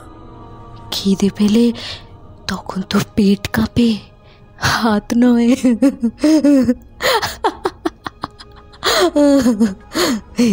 এই এই দাদা এই দাদা, খা না, খা একটু, খা। খুব টেস্ট খা খা। ওই যে ওই যে আমার আরাধ্য, ওর প্রসাদেটা খা খা না খা। কথাটা বলতে বলতে মেয়েটা দেয়ালে ঝোলানো ওই ভীষণ মূর্তির ফটোর দিকে ইঙ্গিত করছিল। সে এবার মৃতদেহের এক টুকরো মাংস ছিঁড়ে আর একটা আমার মুখের সামনে নিয়ে গেল। আর ওই দ্বিতীয় আমিটাও মুখ বাড়িয়ে মাংসের টুকরোটা মুখে নেব, এরকম একটা ভাব করে ঝুঁকতে ঝুঁকতে পায়ের কাছের চামড়ার স্ট্র্যাপ থেকে বড় ছোড়াটা বার করে নিলাম। এই সেই ছোড়া যেটা আত্মরক্ষার জন্য আজও সাথে রাখি। এবার দ্বিতীয় আমিটা অতর্কিতে ডান হাত দিয়ে ছোড়াটা সজোরে আমুল বিধিয়ে দিল বাচ্চা মেয়েটির গলায়। মেয়েটার মুখ থেকে ঝলকে ঝলকে রক্ত বেরিয়ে এলো বার কত। একটা গোমানির মতো শব্দও হলো বোধ হয় পুনরায় তার মাথাটা বা হাতে চেপে ধরে আমার অবয়বটি ছোড়াটা আরও জোরে ঢুকিয়ে দিতে দিতে বলল,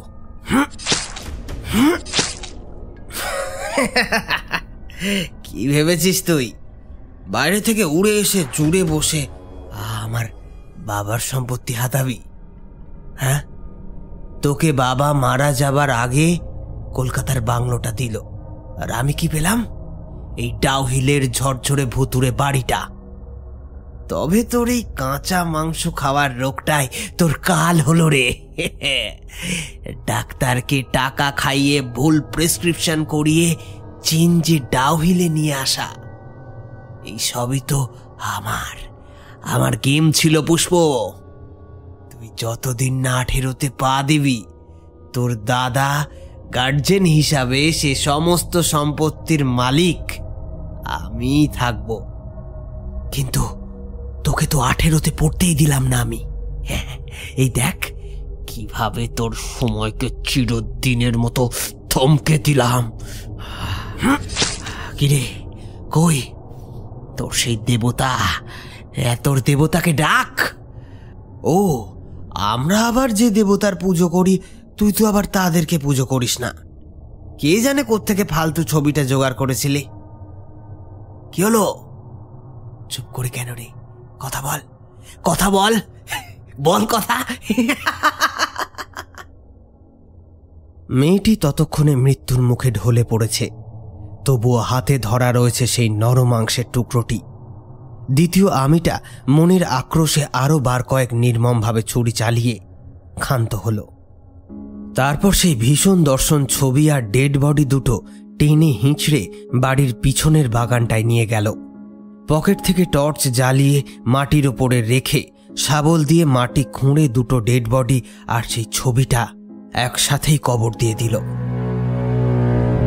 এদিকে ডাউহিল পরিণত হতে থাকে একটা জীবন্ত নরকে। এক অন্ধকার রাত কেড়ে নেয় বহু মানুষের জীবন। সাতাশে ডিসেম্বর, আজ পরপর দুই দুটো ভয়ঙ্কর ঘটনা ঘটে গিয়েছে। তার মধ্যে প্রথমটা শুনলাম গ্রামের একদল স্থানীয় বাসিন্দার কাছে। ঘটনা হলো, প্রতি রাতের মতোই গত রাতেও তারা সন্ধে সন্ধে রেঁধে বেড়ে খেয়ে যে যার ঘরে দরজায় ছিটকিনি লাগিয়ে বসেছিল। এমন সময় জঙ্গলের অনেক ভেতর থেকে বারংবার সেই হুঙ্কার তাদের কানে ভেসে আসে, যেন শিকার না পেয়ে খেপে উঠেছে শয়তানগুলো। ওরা ভীত সন্ত্রস্ত হয়েই কান চাপা দিয়ে বসে থাকে। এমন সময় ঘটে ঘটনাটা। যারা ঘটনাটি বলতে এসেছিল তাদের মধ্যে একজন একটু দুঃসাহসী মতন। সে তার ঘরের জানলা থেকে বাইরে উকি মেরে দেখেছিল, ব্যাপারটা কি? তবে বাইরে যা দৃশ্য সে দেখতে পায়, তাতে করে ভয়ে ওর আত্মাও যেন কেঁপে ওঠে। সে দেখে বাইরে কুয়াশার ঘন ঘটা, সাবানের ফেনার মতো বরফ ঝরে পড়ছে আকাশ থেকে। মেঠো রাস্তার উপরে দাঁড়িয়ে থাকা ল্যাম্পপোস্টের হলদেটে আলোয় খুব ধীরে ধীরে এবার একটা ফুট কুড়ি উঁচু ভয়ঙ্কর অপার্থিব জীব এসে দাঁড়াল। দেখতে দেখতে ওর পায়ের কাছে ওরই মতো প্রায় খানাটেক বিভৎস কদাকার জানোয়ার এসে জ্বর হয়েছে ইতিমধ্যেই।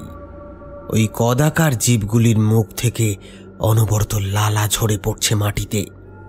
অত অন্ধকারের মধ্যেও ওদের মুখের ভেতরের সারি সারি ধারালো দাঁতগুলো পরিষ্কার দেখা যাচ্ছে। তবে বড় জানোয়ারটার মতো ছোটগুলোর মাথায় হরিণের আঁকা বাঁকা শিং নেই। এবার তারা শূন্য বাতাসে নাক উঁচু করে কিসের জানি ঘ্রাণ নেওয়ার চেষ্টা করল। তারপর হঠাৎ শয়তানগুলো যেন মত্ত হয়ে উঠল, পৈশাচিক হুঙ্কারে ভরিয়ে তুলল চারপাশ।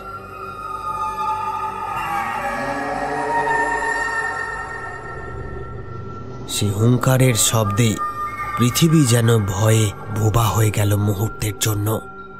ওদিকে পচা মাংসের গন্ধে ভারী হয়ে উঠছে গ্রামের বাতাস। এক দুইবার এদিক ওদিক দেখে এবার ওগুলো অত্যন্ত ক্ষিপ্র গতিতে কোনো বাড়ির গোয়াল ঘর কি কোনো গৃহস্থ বাড়ি ভেঙে চুড়ে হুড়মুড়িয়ে ঢুকে পড়তে থাকল। এক একটা শয়তান এক এক করে বাড়ি ভাঙে আর মুখে করে কিংবা তাদের সামনের দুই লোমস সরু হাতে টুটি চিপে তুলে নিয়ে আসতে থাকে মানুষ কিংবা গবাদি পশুর ছটফট করতে থাকা দেহগুলোকে।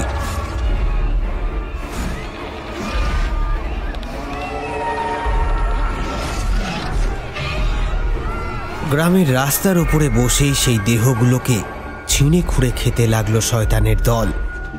পাশবিক হুঙ্কার আর মৃত্যু যন্ত্রণার চিৎকারে খান খান হয়ে গেল গভীর রাতের নিস্তব্ধতা।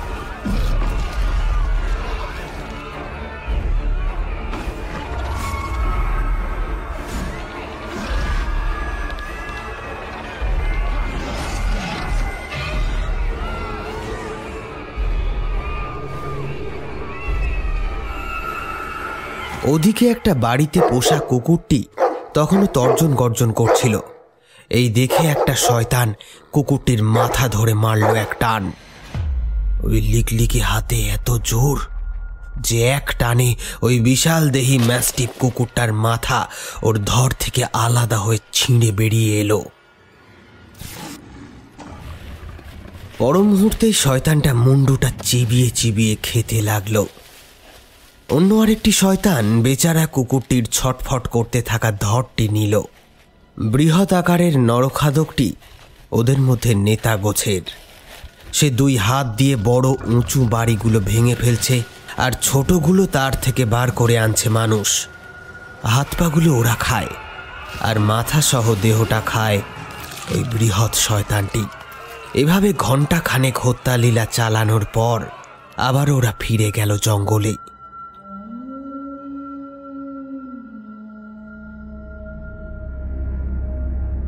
সব কিছু দেখে শুনে অর্পণ নাগ একটা পন্থা অবলম্বন করে। যতক্ষণ না পর্যন্ত মিলিটারির কাছ থেকে কোনো সাহায্য না আসে, ততক্ষণ সমস্ত গ্রামবাসীকে একটি সুরক্ষিত স্থানে নিয়ে আসা দরকার। ওই সময় দাঁড়িয়ে অর্পণের মাথায় নিজের বাড়ি কুহকিনী ছাড়া আর অন্য কোথাও যাওয়ার উপায় ছিল না। তাই সে রাতে অর্পণ গ্রামের জীবিত বাকি সকলকে নিয়ে নিজের বাড়িতে আশ্রয় দেয়। তারপর কি হলো?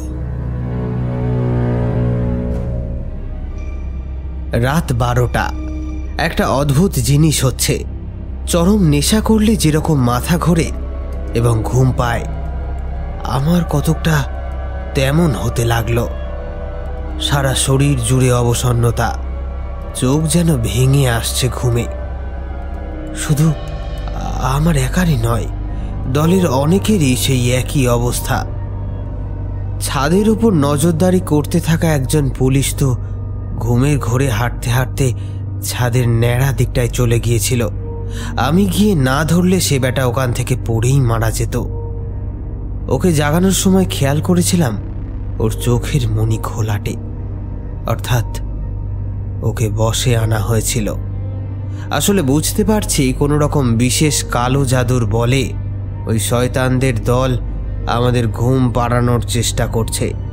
কারণ আমরা ঘুমিয়ে পড়লে আত্মার ওপর নিজের কর্তৃত্ব চালিয়ে আমাদের পরিকল্পনা ভেস্তে দিতে পারবে তারা। তখন আমরা ওদের কাছে একতাল মাংস ছাড়া আর কিছুই না। তাই সবাইকে বলা হয়েছে, যতই ঘুম আসুক, ঘুমলে কিন্তু চলবে না। এতটুকু জীবনই যদি এসেছে, ব্যাস। মৃত্যু তখনই তাকে বৈতরণী পার করে দেবে। সমস্ত দলেরই এখন ওই একই অবস্থা। আমি গিয়ে গিয়ে সবাইকে জাগিয়ে দিতে লাগলাম। তারপর বাড়ির পিছন দিকে গিয়ে দেখি একটা অগ্নিকুণ্ড নিভু নিভু হয়ে এসেছে। সেই অগ্নিকুণ্ডের তত্ত্বাবধানে যারা ছিল, সবাই ঘুমিয়ে নেতা। আমি ওদেরকে জাগিয়েই দিচ্ছিলাম এমন সময় দেখি আমার ঠিক পিছন থেকে হঠাৎই এক গ্রামবাসী এসে বালতি ভর্তি জল ঢেলে আগুন নিভাতে উদ্যত হয়েছে। আরে এই কি করছ? থামো থামো। তাকে ধরে চড়চাপড় মারতেই হুশ ফিরল তার। দেখলাম তার ঘোলাটে চোখ আবারও স্বাভাবিক হয়ে উঠেছে।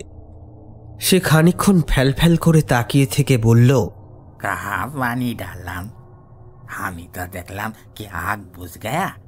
इसीलिए और कुछ लकड़ी लेकर आग के अंदर डालने ही वाला था ওই গ্রামবাসীদেরকে বিশ্রাম নিতে বলে আমি নিজে বসলাম সেখানে অগ্নিকুণ্ড নিভতে দেওয়া যাবে না আমি স্পষ্ট বুঝতে পারছি মাংস ভুকের দল ঘাপটি মেরে আছে আশেপাশেই কোথাও আমাদের ওপর ওদের লোভী জল জলে নজরদারি চলছে একটা রাতও কাটতে দেবে না তার আগেই শেষ করতে চায় সবাইকে রাত একটা বেজে তিরিশ মিনিট। অগ্নিকুণ্ডের পাশে একটা চেয়ার নিয়ে পাহারায় থাকতে থাকতে কখন যে ঘুমিয়ে পড়েছিলাম, ঠিক খেয়াল করিনি। হঠাৎই কিসের একটা খসমস শব্দে ঘুমটা ভেঙে গেল। অবাক হয়ে দেখলাম, এ কোথায় এসে পড়েছি আমি? এটাই কি সেই আমার বাড়িটা, যেখানে মাত্র দেড় ঘণ্টা আগেও প্রাণের অস্তিত্ব ছিল? এই তো এই একটু আগেও বাড়িটায় কত লোক ছিল। কোথায় গেল এখন তারা? কোথায় বা সেই অগ্নিকুণ্ড? আমি যে অগ্নিকুণ্ডের পাশে ছিলাম, তার আগুনও নিভে গিয়েছে। চারিদিক নিশ্ছিদ্র অন্ধকারের সমুদ্রে ডুবে রয়েছে। আলোর উৎস বলতে যেটুকু দেখা যাচ্ছে, সেটা হচ্ছে বারান্দার দালান থেকে। এক অজানা আশঙ্কায় বুকটা ঢিপ ঢিপ করতে লাগল। অনন্ত, সলিল, বিক্রম, কোথায় কোথায় কোথায় আপনারা সবাই? অনন্ত! সলিল বাবু, বিক্রম, কোথায় কোথায় আপনারা সবাই? আরে কেউ সাড়া দিচ্ছে না কেন? মঙ্গল মঙ্গলবাবু মঙ্গলবাবু আছেন? একে একে সবার নাম ধরে চিৎকার করে ডাকলাম, কিন্তু সবই ব্যর্থ। কোথাও কোনো সাড়া শব্দ নেই, চারিদিকে শ্মশানের নিস্তব্ধতা, কুয়াশা তাদের সাদা কাপড়ে মুড়ি দিয়ে আচ্ছন্ন রেখেছে দৃশ্যপট। সার্ভিস রিভলভারটা বার করে পকেটে রাখা ছয় সেলের টর্চটি জ্বাললাম। উজ্জ্বল আলোয় ভরে উঠল কিছুটা জায়গা। চারিদিকে টর্চ ঘুরিয়ে দেখলাম কোথাও কেউ নেই, সব ফাঁকা। আমার সামনেই আতপোড়া কাঠগুলো ডাই হয়ে পড়ে রয়েছে। হিমেল উত্তরে হাওয়ায় বাগানের শুকনো পাতা, ডাস্টবিনে ফেলে রাখা থার্মোকলের এটো প্লেট ইত্যাদি উঠছে। আশ্চর্য! কোথায় গেল সবাই? ভোজবাজির মতো উবে গেল নাকি? নাকি সেই উইন্ডিগোর দল? না না না এটা আমার কোনো দুঃস্বপ্ন নিশ্চয়। এখন মনটাকে শক্ত করতে হবে। কোনো রকম নেতিবাচক চিন্তা আনা চলবে না। পুরো বাড়িটা একবার ঘুরে দেখতে হবে আমায়, এক্ষুনি। এই ভেবে পায়ে পায়ে এগিয়ে গেলাম। মিনিট খানেক বাড়ির চারপাশে ঘোরাঘুরি করার পর একটা চরম সত্যি আবিষ্কার করলাম। হ্যাঁ সমগ্র বাড়িটা খাঁ খাঁ করছে। এই বাড়িতে আমি ছাড়া অন্য কোনো প্রাণের অস্তিত্ব নেই। অজানা কোনো মন্ত্র বলে সবাই উবে গিয়েছে যেন। এমন সময় একটা শব্দ কানে এলো। মটমট করে হাড় ভাঙার শব্দ। শরীর থেকে মাংস ছিঁড়ে নেওয়ার শব্দ। আমার শির দ্বারা বেয়ে একটা ঠান্ডা জলের স্রোত নেমে গেল। গলা শুকিয়ে কাঠ। হাত পা অসাড় হয়ে গিয়ে খসে পড়ল রিভলভারটা। সেই সাথে টর্চটিও। সেই সন্ধ্যা থেকে ঠিক যে সন্দেহটা মনের গহীন অন্ধকারে ঘাপটি মেরেছিল। হঠাৎ করে সেটা যেন প্রচুর মাত্রায় জীবন্ত হয়ে উঠেছে। আমি সর্বক্ষণ এই ভয়টাই পেয়েছিলাম। যে গভীর রাতের কোনো এক সময়ে সে মৃত্যুদূত ঢুকে পড়বেই এ বাড়িতে। আর আর খুব শিগগিরই শ্মশানে পরিণত হবে বাড়িটা। এমন সময় একটা বোটকা মাংস পচা গন্ধ নাকে ঝাপটা মেরে গেল। বারে বারেই আমার কেন জানি না মনে হচ্ছে। এক্ষুনি হয়তো পিছনে ফিরলেই দেখতে পাবো সেই রোগা লিকলিকে ভয়ঙ্কর দীর্ঘকায় মূর্তিটি। ডালপালার মতো আঁকা বাঁকা তার হাতের নখগুলো সচল হয়ে উঠছে ধীরে ধীরে। মন ভীষণভাবে চাইছে একটিবার, একটিবারের জন্য পিছনে ফিরে দেখতে। আসলে যা কিছু নিষিদ্ধ, যা কিছু গোপন, তার প্রতি সেই আদিকাল থেকেই মানুষের ঝোঁক প্রবল। হঠাৎই চোখের সামনে মাটি ফুঁড়ে উদয় হলো সেই বৃদ্ধটি। মাশরুম বিক্রেতা ভাস্কর বিস্তা। তবে সেদিনের মতো তার মুখে হাসি আর সহানুভূতির লেশ মাত্র নেই। তার বদলে ওনার দুই চোখ যেন জ্বলছে ভাটার মতন। সেখান থেকে ঠিকরে ক্রোধ বেরিয়ে আসছে। সে গমগমে গলায় এবার আমায় বলল, তোমায় প্রথম দিনই বলেছিলাম এখানে থাকতে না, বেরিয়ে যেতে। কিন্তু না, শুনলে না তুমি। আজকে তোমার জন্যই আমার বংশের শেষ বাতিটা নিভে গেল। মরণ। মরণই তোমার একমাত্র উপযুক্ত শাস্তি। আমার গলা দিয়ে তখন আর আওয়াজ বেরোচ্ছে না। তবুও অতি কষ্টে বললাম "আহ, আহ, আপনি জানেন আমি আমি কেন এসব করছি? আর কোনো উপায় ছিল না। আর আর আর আর বিক্রম তো বেঁচে আছে। কি কি কি বলছেন আপনি? মূর্খ, তুমি মূর্খ। কিছুই না জেনে শুনে শয়তানের বিরুদ্ধে তুমি লড়াইয়ে নেমেছ। তা বেশ বেশ। তবে তোমার চেষ্টা এবং সাধারণ মানুষের জীবন বাঁচানোর জন্য নিজের জীবন বাজি রেখেছ দেখে আমি এই শেষবারের মতো তোমায় সাহায্য করছি। শোনো, যদি বাঁচতে চাও, তবে জেগে ওঠো। খুঁজে বের করো এই দুঃস্বপ্ন থেকে বেরোনোর দরজাটা। মনে রাখবে আমি তোমাকে কি বলেছিলাম। কালের ঘড়ি গেল থেমে মৃত্যুতহীন তার গলা টেপে। ক্ষুধার শৃঙ্খলে বন্দি জীবন, গুনে চলেছে মৃত্যুর ক্ষণ। হাতের ঘড়িটা দেখো, ওয়েন্ডিগোর সৃষ্টি করা প্রেতের দুনিয়ায় সময় থেমে যায়। এখন তোমার আত্মা সেই ভয়ঙ্কর প্রেতজনির মায়ায় আবদ্ধ, যেটা সৃষ্টিকারী মৃত্যুদূত ওত পেতে আছে তোমাকে মারার জন্য। তোমার আত্মা এই মুহূর্তে নরক আর মৃত্যুলোকের মাঝামাঝি জায়গায় আছে। এই দুনিয়ায় এই দুনিয়ায় শুধু ওদের রাজত্ব চলে। আমিও বেশিক্ষণ থাকতে পারব না বা তোমায় আর কোনো রকমভাবেই সাহায্য করতে পারব না। আমার শক্তি এখানে খুবই সীমিত। শুধু জেনে রাখো, এই দুনিয়ায় যদি তুমি মারা পড়ো, তবে তোমার আসল দেহটাও মারা পড়বে, অতএব সাবধান। এই বাড়িতে এই দুটো দরজা আছে, একটা এই দুনিয়া থেকে বেরোনোর, অন্যটা নরকের। যা বলছি শুনে যাও। নরক দ্বারে দাঁড়িয়ে আছে তোমার প্রেহসী কুহকিনী। মর্ত দ্বারের দোরগড়ায় মৃত্যুদূতের হাতছানি। আরে আপ- আপ- আপনি এত হেয়ালি করছেন কেন বলুন তো? কারণ আমি কোনো কিছুই সরাসরি ভাবে বলতে পারব না। সব তোমার অদৃষ্টের লিখন। আমি শুধু চেষ্টা করলাম বাকিটা তোমার হাতে। শুধু নিজের মন শক্ত রেখো। মন শক্ত রেখো।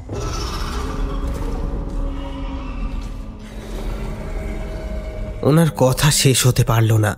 তার আগেই ওয়েন্ডিগোর ভীষণ গর্জনে মুখরিত হয়ে উঠল জনমানববিহীন এই মৃত্যুপুরী। ভাস্কর বিস্তার প্রেতমূর্তি অদৃশ্য হতেই খেয়াল হল ডিজিটাল হাত ঘড়িটার দিকে। ঘড়িটা সময় বলছে রাত একটা বেজে তিরিশ মিনিট তেরো সেকেন্ড এবং ওই নির্দিষ্ট সময়েই সেটা থেমে আছে। সময় আর এগোচ্ছে না। না। তার মানে ভাস্কর বাবুর প্রেত মূর্তি প্রতিটি কথাই সত্যি বলেছে। আর আর তাই যদি হয়, তাহলে এই বাড়ির কোথাও না কোথাও আছে। সেই আমার নিজের দুনিয়ায় ফেরার দরজা। আমি টর্চ নিয়ে দুর্দার করে প্রধান দরজা পেরিয়ে ঢুকে পড়লাম ঘরের ভিতরে। কিন্তু এ কি? কোথায় এসে পড়েছি আমি? ঘরে রাখা আসবাবপত্র বেমালুম হাওয়া। খাঁ খাঁ করছে ঘরটা। চারিদিকের দেওয়ালে মাকড়সার ঝুলে ভর্তি। সমগ্র ঘরময় একটা নীল রঙের আলো জ্বলছে। এমন সময় অনুভব করলাম, ঘরের অন্ধকারময় কোণগুলি যেন আমার বিরুদ্ধে ভয়াবহ কানাকানি করছে। প্রতি মুহূর্তেই মনে হতে লাগল, ওই অন্ধকারের উপাস থেকে দুটো সাদা আলোর দলা নিরীক্ষণ করছে আমায়। বেশ কিছুক্ষণ ধরেই কোথা থেকে যেন একটা আওয়াজ আসছে। একটা না টপ টপ করে হয়ে চলেছে শব্দটা। কোথাও কি জলের কল খোলা? আওয়াজ লক্ষ্য করে পায়ে পায়ে এগিয়ে গেলাম কিচেনের দিকে। নিচের এই ঘরটা পেল্লায় বড়। এটা আসলে ড্রয়িং রুম। এখান থেকে কিছুটা ডান দিকে হাঁটলেই কিচেনটা পড়বে। কিচেনের পাশে পরপর তিনটে গেস্ট রুম। তারপরেই সিঁড়ি উঠে গিয়েছে দোতলায়। সিঁড়িটা পেরিয়ে কিছুটা গেলেই বাথরুম। এদিকে টর্চটা নিয়ে পড়েছি সমস্যায়। একটানা বেশিক্ষণ জ্বালিয়ে রাখলেই আলো দপদপ করে নিচে উঠছে। অথচ বিলক্ষণ মনে আছে, আজ দুপুরেই চার্জ দিয়েছিলাম। এভাবে কোনো রকমে কিচেনের গায়ে গিয়ে পৌঁছালাম। এখানে অন্ধকারটা আরও জমাটি। খালি মনে হতে লাগল, এই বুঝি অন্ধকারের নিরেট দেওয়ালটা ফুঁড়ে সেই ভীষণ মূর্তিটা বেরিয়ে এসে আমার টুঁটি চিপে ধরবে। এসব ভাবতে ভাবতে কিচেনের সামনে আসতেই হঠাৎ আর একটা আওয়াজ প্রবল হয়ে উঠল। কষাইয়ের দোকানে মাংস কাটলে যেমন আওয়াজ বেরোয়, কতকটা তেমনই। ভয়ে ভয়ে টর্চের আলোটা জ্বাললাম। কিচেনের ভিতরের দৃশ্য দেখেই, আমার শরীর কাঠ হয়ে গেল। কিচেনের মেঝেতে পড়ে রয়েছে তিন তিনটে লাশ। এদিকে ওদিকে ছড়িয়ে ছিটিয়ে রয়েছে নরকরটি, হাতের কাটা আঙুল, নিম্নাঙ্গ ইত্যাদি। রান্নাঘরের মেঝেতে লাল রক্তের ধারা। ওদিকে একটা লোক দেখি চপার হাতে পরম সুখে মাংস কেটে চলেছে। ঝপাঝপ নামছে হাতের চপার। রান্নাঘরের বেসিনের থেকে রক্ত উপছে পড়ছে মাটিতে। কল থেকে টপ টপ করে বেয়ে আসছে টাটকা লাল রক্ত। হঠাৎ মাংস কাটা থামিয়ে মূর্তিটা এবার আলোর উৎসের দিকে মাথা ঘোরালো। সে কি? এ তো এ বাড়ির কেয়ারটেকার বিমল বুড়ো। তবে তবে রাতারাতি ওর মুখের গড়ন শরীর এভাবে পাল্টে গেল কি করে? ওর সাদা সরু লিকলিকে হাতে ধরা রয়েছে রক্ত মাখা চপারটা মুখটা, ওহ ওহ, কি বিভৎস, কি ভয়ঙ্কর।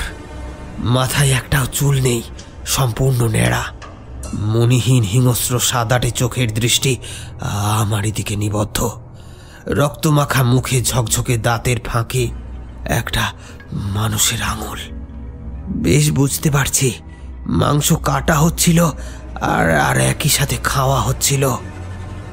এবার এক টানে আঙুলটা মুখের মধ্যে পুরোটা ঢুকিয়ে নিয়ে, চিবোতে চিবোতে ওই রক্ত মাখা চপারটা আমার দিকে তাক করল।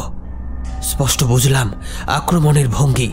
আর কয়েক সেকেন্ড দেরি করলেই আমি ওই রান্নাঘরের মেঝেতে ফালা ফালা হয়ে পড়ে থাকব। মনের ভিতর কেউ যেন বলে উঠল, পালা পালা অর্পণ, পালা! আমি তৎক্ষণাৎ ওই স্থান ত্যাগ করে এক দৌড়ে সিঁড়ি দিয়ে ছুটতে লাগলাম।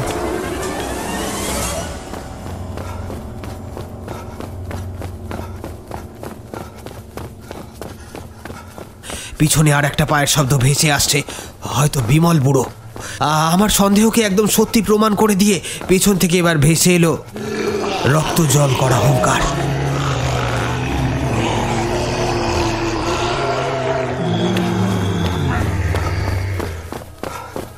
দৌড়াতে দৌড়াতে দোতলার বারান্দায় এসে উঠলাম। এখানে সারি সারি বেশ কয়েকটা ঘর। তার সবকটাই তালা দেওয়া। ওদিকে সেই মূর্তি চপার হাতে দৌড়ে এগিয়ে আসছে আমারই দিকে। একের পর এক ঘরের তালা দেওয়া দেখে আমি সিঁড়ি বেয়ে তিনতলার দিকে এগোলাম। এই তিনতলায় আবার অন্য দৃশ্য। দেয়াল থেকে পলিশ তারা খসে পড়ে ইট বেরিয়ে পড়েছে। এখানেও আলো নেই বললেই হয়। শুধুমাত্র সিলিং থেকে ঝুলছে একটা সবুজ আলোর বাতি। ওই বাতির আলোটা যেন এই তিনতলার অন্ধকারটাকে আরও ভয়ঙ্কর, আরও সজীব করে তুলেছে। এখানকার বাতাস বোটকা গন্ধে পরিপূর্ণ। তিনতলার ব্যালকনির যে প্রান্তে আমি দাঁড়িয়ে তার ঠিক মুখোমুখি প্রায় একুশ হাত দূরেই অন্ধকারময় চিলেকোঠা। স্পষ্ট দেখলাম সেই নিরেট অন্ধকারের ক্যানভাসে ধীরে ধীরে দৃশ্যমান হলো সাদা আলোর দুটি ফুটকি। এক দৃষ্টে সেটি আমার দিকে তাকিয়ে আছে। এবার ধীরে ধীরে সেই আলোর গোলকগুলি আরও বেশ কিছুটা এগিয়ে আসতে লাগল। আহ, ভয়ে ভয়ে আমার হাত পা একেবারে যেন অচল। কার্শিয়াংয়ের হোমস্টের রাতে যে সাদা আলোর দলাগুলোকে দেখেছিলাম, এটাও সেই একই রকম। ওই তো, ওই ওই ওই আলোর বৃত্তগুলো আর অন্য কিছু নয়, সাক্ষাৎ মাংস ভোগ ও, ওদের সেই জ্বলন্ত দৃষ্টি। ও, ওদিকে নিচ থেকে গর্জন করতে করতে এখানে উঠে আসছে বিমল মহারাজন বুড়ো।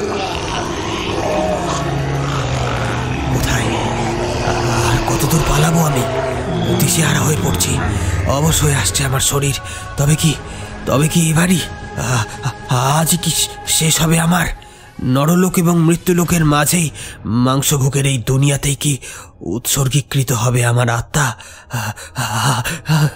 হঠাৎই সেই দুর্গন্ধ, দুশ্চিন্তার অন্ধকার ভেদ করে একটা মিষ্টি পারফিউমের সুবাস আমার নাকে আসলো। আশ্চর্য, এই গন্ধ এখানে আসলো কি করে? এটা তো অনামিকার খুব প্রিয় পারফিউম। ওই ওই চরম বিপদের মধ্যে দাঁড়িয়েও আমার স্ত্রীর কথা মনে পড়ে। চোখ ভরে উঠল জলে। কিন্তু এই সময় এরকম তো হওয়ার কথা নয়। এই বিভৎস হত্যা জগতের মৃত্যুর ভীষণ কাছে এসেও আমার মধ্যে এই এক অদ্ভুত অনুভূতি এ কেন হচ্ছে? কামনার জ্বালায় যেন দগ্ধ হচ্ছে আমার গোটা আত্মা। ওই তো ওই তো তিনতলার একটা ঘরের দরজা একটু খুলে গেল বলে মনে হচ্ছে। হ্যাঁ হ্যাঁ আমি স্পষ্ট দেখতে পাচ্ছি একটা লালচে আলো ওই ঘরের দরজার ফাঁক থেকে এসে লম্বাটে হয়ে পড়েছে বারান্দায়। ওই ঘরটা যেন আমার চুম্বকের মতো টানতে থাকল। এদিকে আমার সামনে এক পা এক পা করে এগিয়ে আসছে সেই শক্তিশালী নৃশংস মাংসভোগ। পিছনে হয়তো কেয়ারটেকার বুড়ো এতক্ষণে এসে হাজির হয়েছে। ওর হাতের চপারটা এবার আমার শিরধারা বরাবর নেমে আসতে পারে যে কোনো মুহূর্তে। তবুও সেসব দিকে আমার কোনো ভ্রক্ষেপ নেই। আমার মনের মধ্যে না আছে ভয়ের কোনো কালো মেঘ, না মৃত্যুর অশনি সংকেত। যদি কিছু থাকে, তবে তা শুধুই কামনার গোলাপ খিদে, কামের খিদে। যতই সে ঘরের দিকে অগ্রসর হতে লাগলাম, ততই আমার শরীর যেন আরও গরম হয়ে উঠতে লাগল। হঠাৎ একটা কামনাময়ী নারী কণ্ঠ কানে এলো। আরে, এটা তো অনামিকার কণ্ঠস্বর। কই এদিকে কত দূরই বা যাবে তুমি পালিয়ে কেনই বা যাবে? কিসের জন্য করছ এত লড়াই? আমার কাছে এসো না। আমার কাছে এসো। তোমায় অনেক সুখ দেব। চির শান্তি পাবে তুমি। মনে হলো? হ্যাঁ হ্যাঁ সত্যিই তো। আমি কেন লড়ছি? কি- কি- কি- কিসের জন্য লড়ছি? এরা তো কেউ নয় আমার। আমি তো আমার অনামিকার কাছেই যেতে চাই। আহা আমার অনামিকার কাছেই যেতে চাই। একটিবার এই দরজাটা দিয়ে চোখ বন্ধ করে ঘরের ভিতরে ঢুকে খুললেই দেখবে তুমি আমার কাছে চলে এসেছ। পাগলের মতো চিৎকার করে বলতে লাগলাম আমি আসছি অনামিকা আমি আসছি হা- হা- হা- আমি আসছি। পায়ে পায়ে এগিয়ে গেলাম সেই ঘরের দিকে।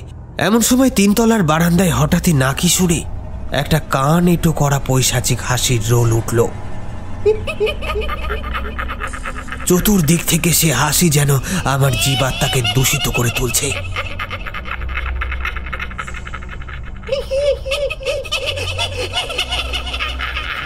তবুও কোনো দিকে ভ্রক্ষেপ নেই আমার। ধীর পায়ে এগিয়ে গিয়ে সে দরজার পাল্লাটা খুলে দিলাম হাট করে। ঘরটা যেন ভীষণ মাত্রায় গরম। গায়ের চামড়া পর্যন্ত ঝলসে যায়। তবুও সেসব দিকে পরোয়া না করে একটু ভেতরে ঢুকতেই চোখে পড়ল, ঘরের মেঝেটা যেন আগ্নেয়গিরির লাভার মতো ভাসমান। সে কালচে মেঝেটার ফাটল দিয়ে লাভা বেরিয়ে চুইয়ে চুইয়ে মেঝের উপরে উঠে আসছে। জ্বলন্ত লাভা থেকে বিচ্ছুরিত লালচে আলোয় ঘরটা ভরে রয়েছে। এবার ঘরের মাঝখানে চোখ পড়তেই সারা শরীরে যেন বিদ্যুৎ প্রবাহ খেলে গেল।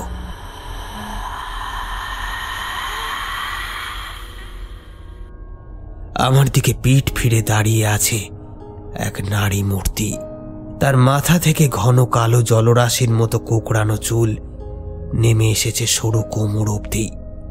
ঘরের লালচে মায়াবী আলো যেন তার কামনাময়ী শরীরে পড়ে পিছলে যাচ্ছে।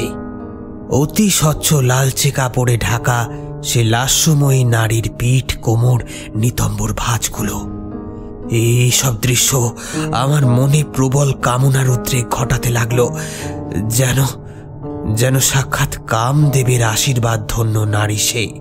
শত গৌরব, শত জয় পরাজয় যেন এর কাছে অতীব তুচ্ছ। সে নারীর বাহুবন্ধনে আবদ্ধ হয়ে নিজেকে মৃত্যুর হাতে সঁপে দিতে পারাটাই যেন চরম প্রাপ্তি। আমার বুকের কাছটায় গরম ভাবটা এবার বেশি করে অনুভূত হচ্ছে। খিলখিল করে সে হেসে উঠল।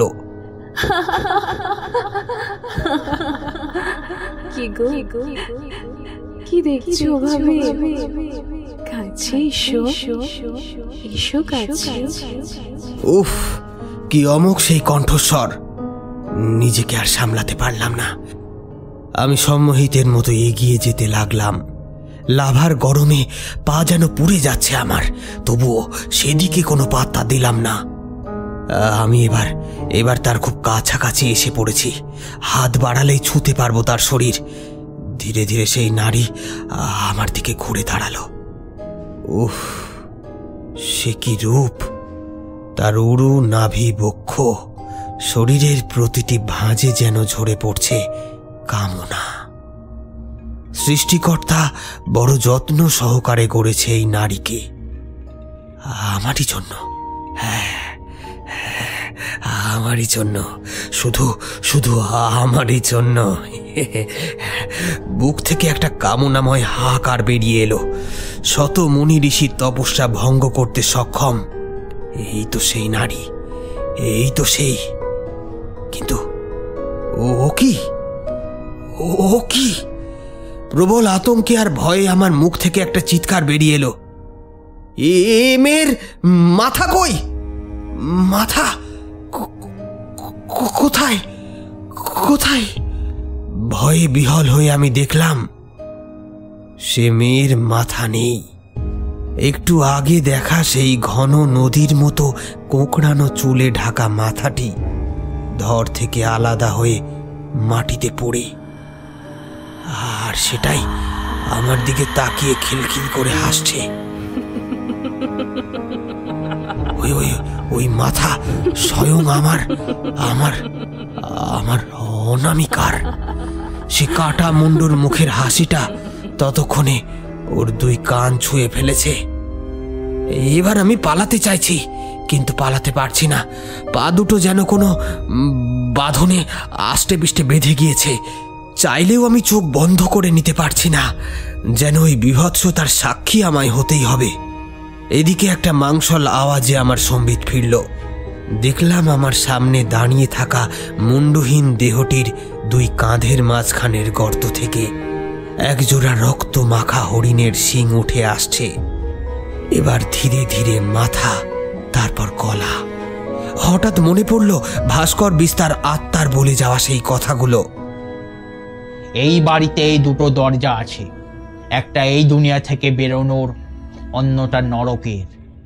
যা বলছি শুনে যাও। নরক দ্বারে দাঁড়িয়ে আছে তোমার প্রেহসী কুহকিনী। মর্ত দ্বারের দোরগড়ায় মৃত্যুদূতের হাতছানি। জলের মতো পরিষ্কার হয়ে গেল সবটা। তার মানে আমি এই মুহূর্তে যেখানে দাঁড়িয়ে আছি, এটাই সেই নরকদ্বার। তাহলে তিনতলার চিলে কোঠা পেরিয়ে যেতে পারলেই আমি ফিরে যেতে পারব আমার দুনিয়ায়। এই নরকদ্বার একবার বন্ধ হয়ে গেলে আমার আত্মা চিরতরে এই নরকেই আটকে পড়বে এবং আমার দেহে বাসা বাঁধবে পিসাচ মাংস ভোগ আর তখনই আমার আসল বাড়ির সুরক্ষার ভিতরে অর্পণ নাগের শরীরটা পরিবর্তিত হয়ে সেই ভয়াল জানোয়ারের রূপ নেবে। তারপর তারপর ছিঁড়ে খুঁড়ে খাবে পুরো গ্রামবাসীদেরকে। এতক্ষণে সেই পিসাচের কুটিলতা ধরে ফেললাম আমি।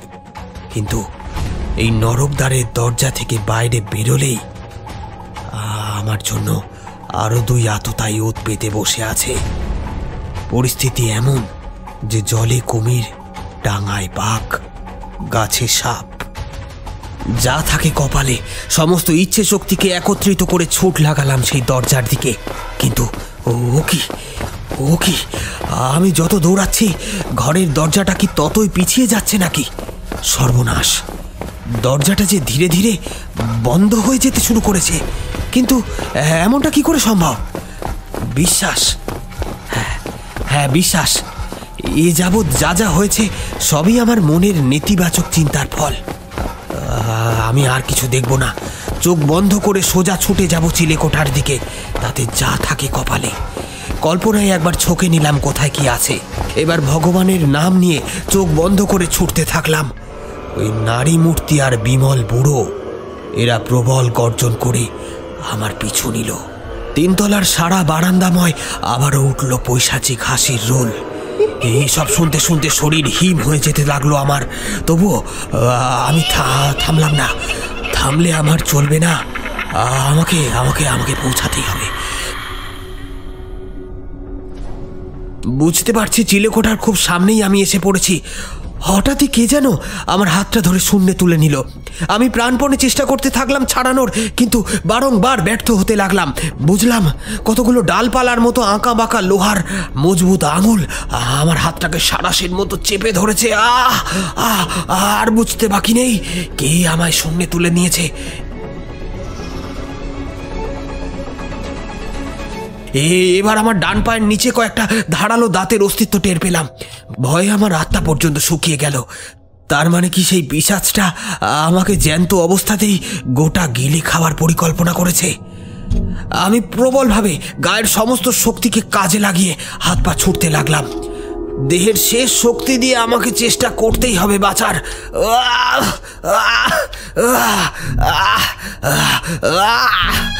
আমাকে চেষ্টা করতেই হবে বাঁচার। কিন্তু না, আর উপায় নেই। নিজের মনে সাহস আনার জন্য জোর গলায় এবার চিৎকার করলাম।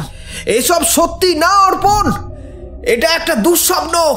এটা মিথ্যে, এটা প্রবল মিথ্যে। কিন্তু আশ্চর্য হলাম যে কথাগুলো আমি বলেছি, এগুলি সবই আমার কল্পনায়। গলা থেকে শুধু বেরোচ্ছে গো গো শব্দ।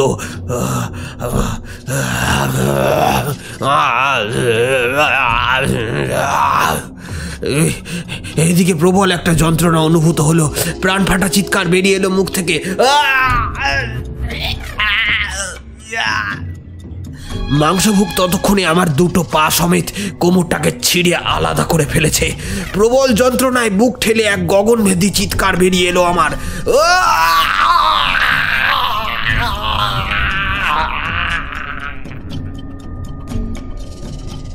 তারপর আর কিছু মনে নেই।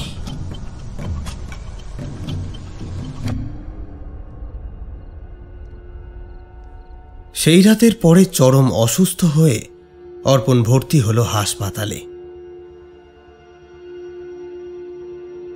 চরম খারাপ সময়ের মধ্যেও যখন হাসপাতালের সকলে নতুন বছর আগমনের আনন্দে মেতে উঠেছে, ঠিক সেই রাতে ঘটে যায় আবারও এক নারকীয় ঘটনা। কি ঘটেছিল? চলুন আবারও জেনে নেওয়া যাক অর্পণের ডায়েরির পাতা থেকে। ডায়েরিতে অর্পণ লিখেছে,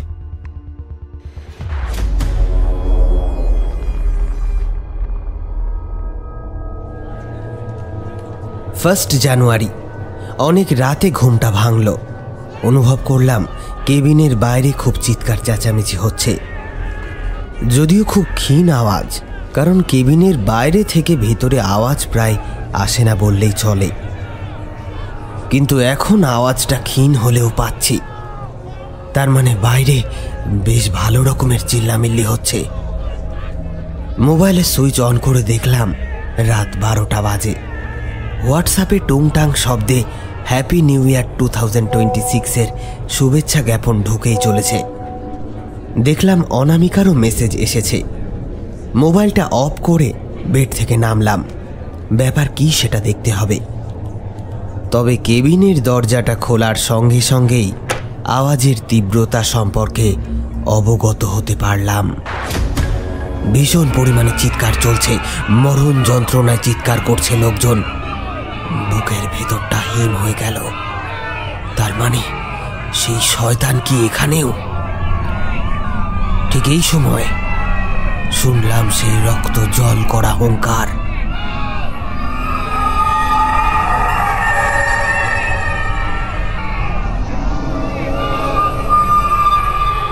ব্যাপার স্যাপার দেখে আমাদের সপ্তম ফ্লোরের ডাক্তার নার্স রিসেপশনিস্ট প্রায় সবাই যে যার জায়গা ছেড়ে বেরিয়ে এসেছে হাসপাতালের মাইকে এবার গমগমে গলায় উঠল এক ভয়াবহ অ্যানাউন্সমেন্ট आप आप लोग सब कोई निकल जाइए यहाँ से आप लोग आप लोग सब कोई निकल जाइए यहाँ से ग्राउंड फ्लोर पूरा जाम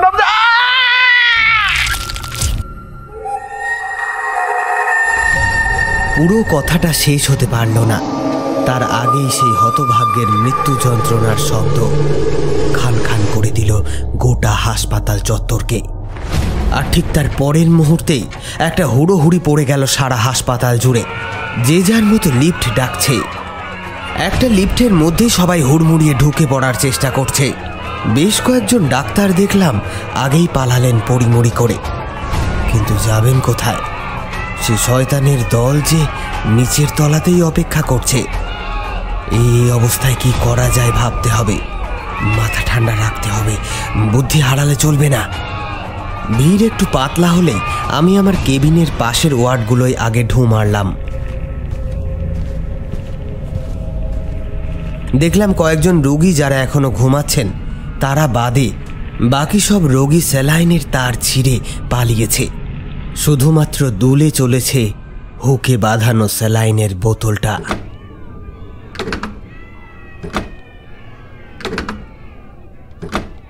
পাশাপাশি বেশ কয়েকটা ওয়ার্ডে প্রায় একই চিত্র। শুধু একটা ওয়ার্ডে দেখলাম সেই নার্স বসে আছেন। চুপ করে। ওনার কোলের মধ্যেই মুখ লুকিয়ে বসে আছে বছর দুয়েকের একটা বাচ্চা। ধীর পায়ে সেদিকে এগিয়ে গেলাম। এই যে এই যে আপনি এখানে? হঠাৎই আমার গলার শব্দে যেন চমকে উঠলেন উনি। হ্যাঁ ও আপনি এখনও যাননি? কোথায় যাব? সে শয়তানের এত গ্রাউন্ড ফ্লোরেই অপেক্ষা করছে। তারপর নিচের এক একটা ফ্লোর যখন শেষ হয়ে যাবে তখন উঠে আসবে এখানে। এটাই তবে ভবিতব্য। বেশ। তাই বলে এভাবে সবকিছু ভাগ্যের হাতে ছেড়ে দিয়ে বসে থাকবেন? পালানোর চেষ্টা করবেন না? আমি গেলে এদের কি হবে? এই বলে সে ওই ওয়ার্ডের জনা পাঁচেক রুগীর দিকে দেখাল। এদের জীবনে আজ বিপর্যয়ের কালো ছায়া নেমেছে। এই মুহূর্তে যদি আমি এদের ছেড়ে চলে যাই তবে মৃত্যুর পরে ভগবানকে কি জবাব দেব? কথাটা সত্যি কী বা বলা যায়। তবে হ্যাঁ আমি বললাম দেখুন দেখুন আপনি যা বললেন তা অবশ্যই সত্যি কিন্তু আপনি কি একবার নিজের বাচ্চাটার কথা ভেবেছেন? আপনি আজ ওকে নিয়ে না পালালে ওর ভবিষ্যৎটা যে নষ্ট হয়ে যাবে। আর তার জন্য দায় থাকবেন কিন্তু আপনি। এই কথায় যেন কাজ হলো। উনি নড়ে চড়ে বসলেন। হ্যাঁ ঠিকই বলেছেন। অনেক ধন্যবাদ আপনাকে। এই হসপিটালের সব দিক আমি জানি। চলুন বেরিয়ে পড়ি চলুন। হুম এখন নয়। আচ্ছা আপনাদের সিসিটিভি রুমটা কোথায় আছে? সেটা তো ছয় নম্বর ফ্লোরে। ও তার মানে নিচে নামতেই হবে। ঠিক আছে। চলে আসুন। এই বলে ওনাকে নিয়ে করিডোরে এসে দাঁড়ালাম। আচ্ছা লিফট ধরে গেলে কেমন হয়? না না সেই রাস্তা বিপজ্জনক।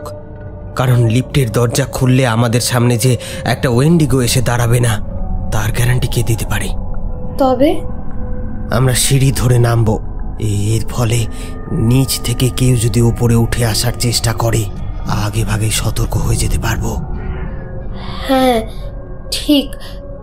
চলুন। এই মোটামুটি ঠিক হলো।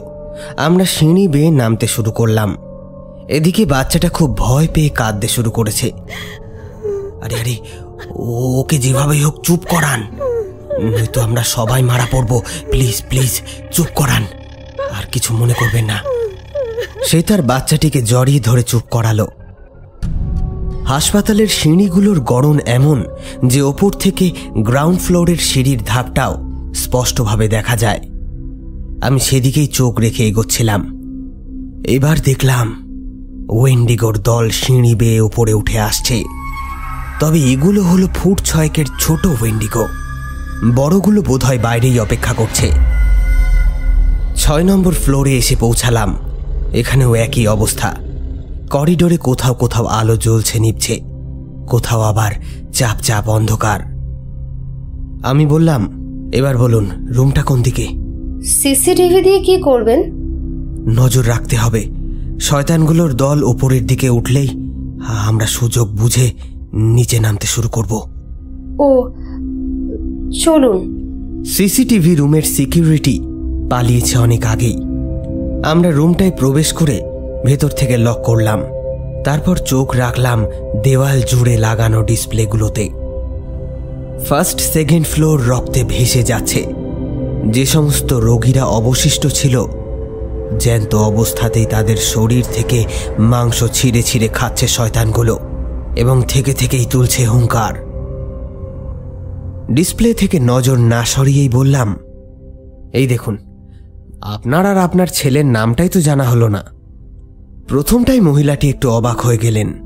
এই রকম চরম পরিস্থিতিতে কেউ যে আলাপচারিতা জমাতে পারে সেইটা বোধহয় আশা করে উঠতে পারেননি।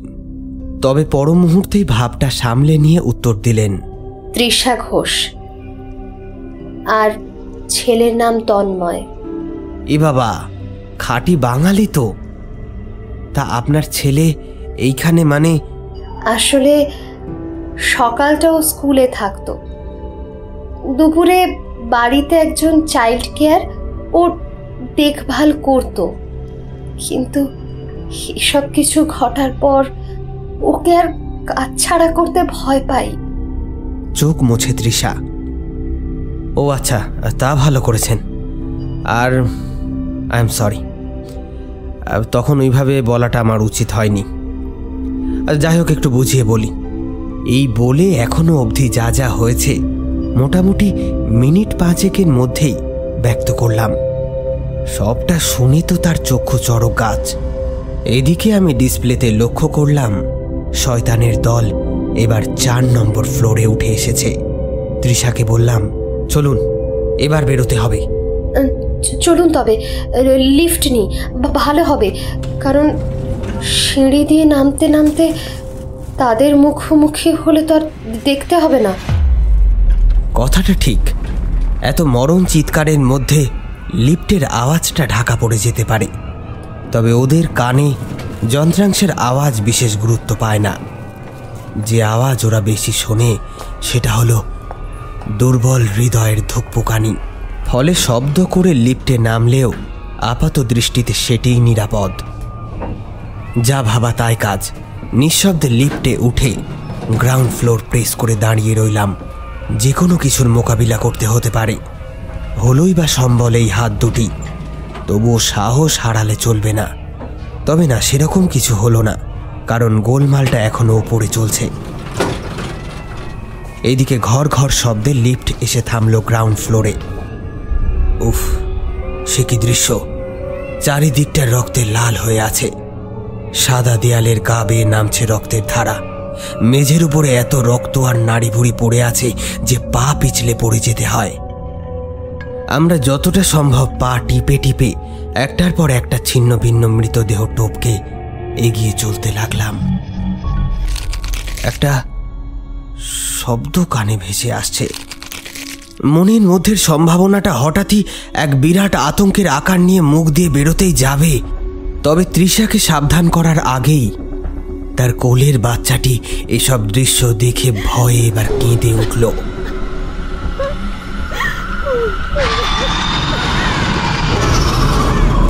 সঙ্গে সঙ্গে আমাদের কানের পাতা ছুঁয়ে বেরিয়ে গেল সেই ভয়াবহ একটি হুঙ্কার।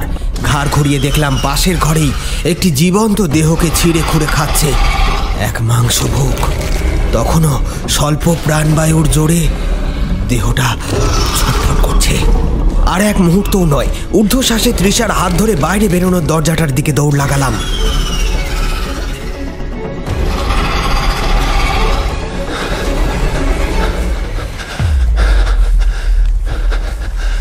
অনুভব করলাম ওপরের ফ্লোর থেকেও শয়তানের দলের হুঙ্কার।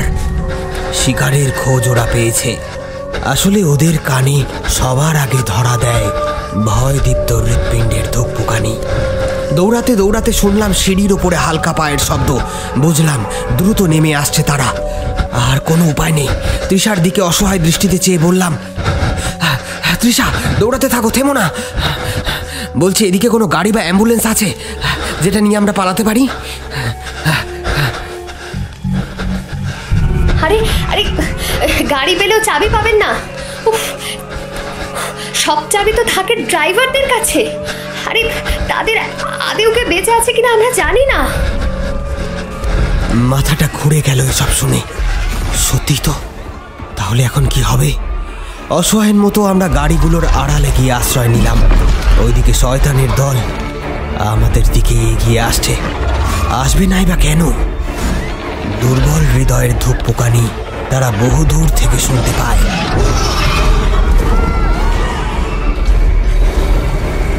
আর হয়তো কোনো আশা নেই। আমরা এক পা এক পা করে পিছিয়ে যেতে লাগলাম হসপিটালের এমার্জেন্সি ডিপার্টমেন্টের অপেক্ষাকৃত ছোট গেটটার দিকে। কারণ গাড়ি পার্কিং এরিয়াটা ততক্ষণে পাঁচ পাঁচটি ছোট ওয়েন্ডিগো মিলে ঘিরে ফেলেছে। ওগুলোর দিকে চোখ রেখে ধীরে ধীরে পিছু হটছি। তবে ছোট গেটটার কাছে পৌঁছে যেতেই বিপদ যেন বাড়ল। বাইরে এখনও চলছে প্রবল তুষার ঝড় আর কুয়াশার কথা তো ছেড়েই দিলাম। এক তো ঠান্ডায় সারা শরীর জমে যেতে লাগল, আর দুই হলো ঝোড়ো হাওয়ার তীব্র শোঁশো আওয়াজকে ভেদ করে গেটের বাইরে থেকে ভেসে এলো ওয়েন্ডিগোর এক হিমশীতল হুঙ্কার। মনে হলো খুব কাছ থেকেই সেটা ডাকছে। আসলে শিকারকে নাগালের মধ্যে পেয়ে গেলে ওরা এরকমই উল্লাস করে থাকে। থমকে দাঁড়িয়ে পিছন ফিরলাম। হ্যাঁ যা ভেবেছি ঠিক তাই। একটা বৃহৎ ফুট কুড়ি উঁচু সিনোওয়ালা হাড় সর্বস্ব বিভীষিকা ধেয়ে আসছে আমাদের দিকে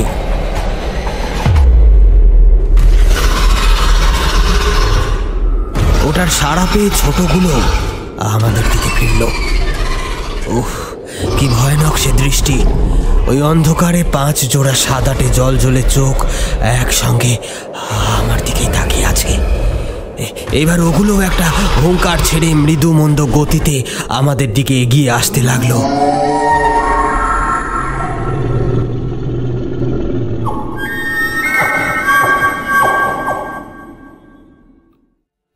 তাহলে অর্পণ আর তৃষাকে এই বিপদ থেকে বাঁচাবে কে? এই রাতটাই কি হবে তাদের জীবনের শেষ রাত? নাকি দৃশ্যপটে আসবে কোনো বদল? চলুন শুনে নেওয়া যাক। তাদের ওই দৃষ্টি আমাদেরকে উপহাস্যের পাত্র বানিয়ে যেন বলছে, বেঁচে পালাবে কোথায়? আজই তো শেষ। সত্যি তাই, আর তো কোনো আশা নেই। এ- এ- এবার এখানেই হয়তো শেষ হতে হবে। সব শেষ। এসবই যখন ভাবছি তখনই হসপিটালের আউটডোর থেকে একটা ধূসর কোট পরা লোক আমাদেরকে হেঁকে পরিষ্কার বাংলায় বলল শিগগিরই দৌড়ে দিকটা আসুন। বলে কি লোকটা? পাগল নাকি? ও কি জানে না যে ওয়েন্ডিগোগুলো ওকে দেখলে কি করবে?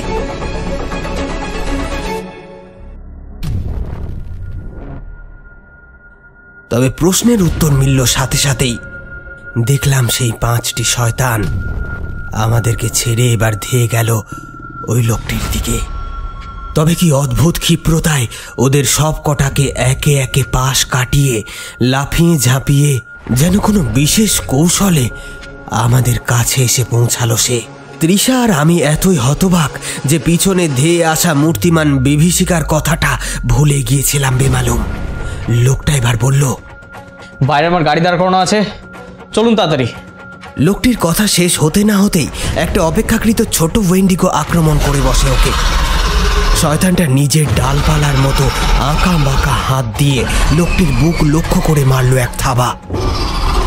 তবে নিমেষের মধ্যে পিছু হটে সেই আঘাতের থেকে নিজেকে বাঁচিয়ে বিদ্যুৎ বেগে জ্যাকেটের পকেট থেকে একটা ছোড়া বার করে।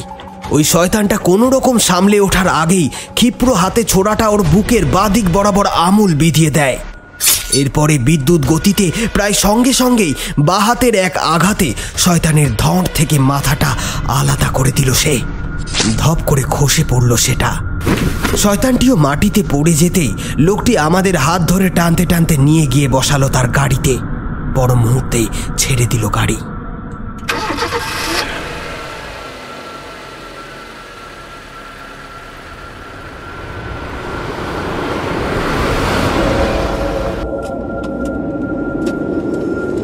প্রবল তুষার ঝড়ের মধ্যে দিয়ে গাড়ি ছুটে চলেছে প্রায় পঞ্চাশ কিমি প্রতি ঘণ্টা বেগে। এই দুর্যোগের রাতে এত স্পিডে গাড়ি চালানোর জন্য সাহস লাগে বই কি? চারটি হেডলাইটের তীব্র আলো বাইরের কুয়াশাকে তেমনভাবে কাটতে পারছে না। আমি ওর পাশের সিটে আর তৃষাও তার ছেলে পিছনের সিটে। বাচ্চাটা কাঁদতে কাঁদতে কখন যেন ঘুমিয়ে গিয়েছে। আমি এবার নীরবতা ভেঙে বললাম অনেক ধন্যবাদ আমাদের বাঁচানোর জন্য। কিন্তু আপনি কে? আর এখানে এলেন কীভাবে? আমি রক্তিম মজুমদার। এখানেই কাছে আমার একটা ডিসপেন্সারি আছে। মানুষের না পশুদের। তা এত রাতে এই মানুষের হাসপাতালে কি করছিলেন আপনি? প্রশ্নটা শুনে সে একটু ভেবে নিয়ে বলল হুম ওই হ্যাপি নিউ ইয়ার উপলক্ষে আমার এক ডাক্তার বন্ধুর সঙ্গে দেখা করতে এসেছিলাম। তারপর ঢুকে তো দেখি এই অবস্থা। আর বাকিটা তো আপনারা জানেন। কথাটা যে ডাহা মিথ্যে, সেটা বিলক্ষণ বুঝতে পারলাম। এত রাতে এই দুর্যোগের সময় কোনো সাধারণ মানুষ অতি প্রয়োজন ছাড়া বাইরে বেরোয় না। সেখানে এই মহাশয় নাকি নতুন বছরের শুভেচ্ছা জ্ঞাপন করতে এসেছিলেন। আশ্চর্য কথা বটে। আমি জিজ্ঞেস করলাম, আপনি মানে সত্যি কি করে মারলেন ওই শয়তানটাকে? তাছাড়া বা হাতে তো আপনার কোনো হাতিয়ার ছিল না। তবে ওর মাথাটা কেটে ফেললেন কি করে? ও শয়তান মরেনি। সাময়িকভাবে এড়ে গেছে এই যা।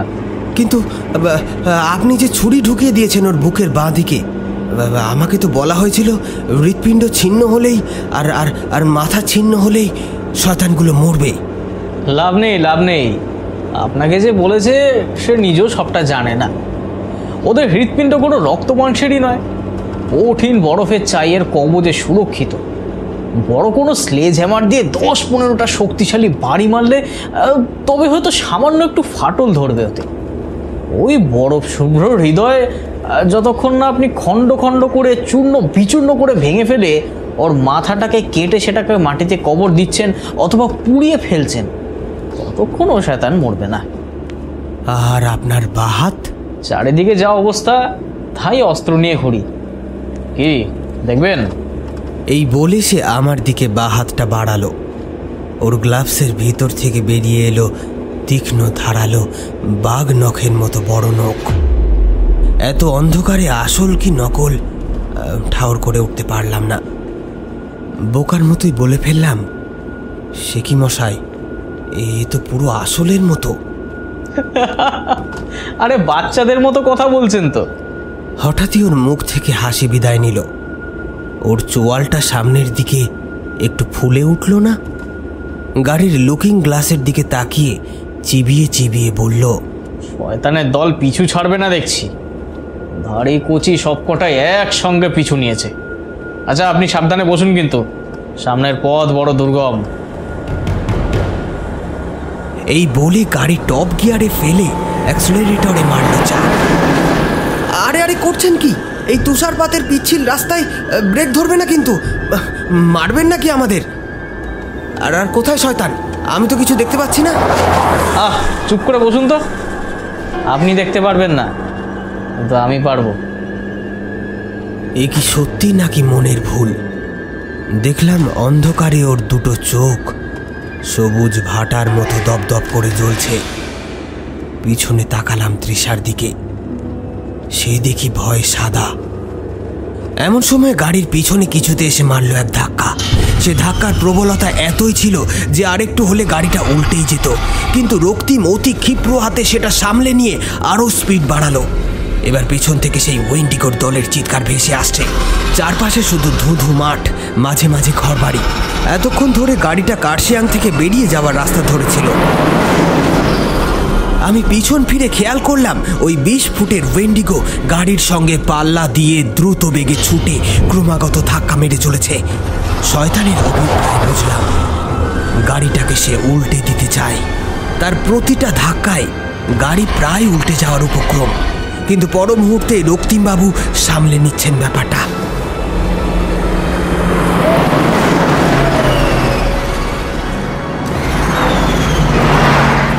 ওই তো, শয়তানটা ওর শিং দিয়ে আবারও ধাক্কা মারার চেষ্টা করতেই রক্তিম ক্ষিপ্র হাতে গাড়ির স্টিয়ারিং ঘুরিয়ে ব্রেক কষে।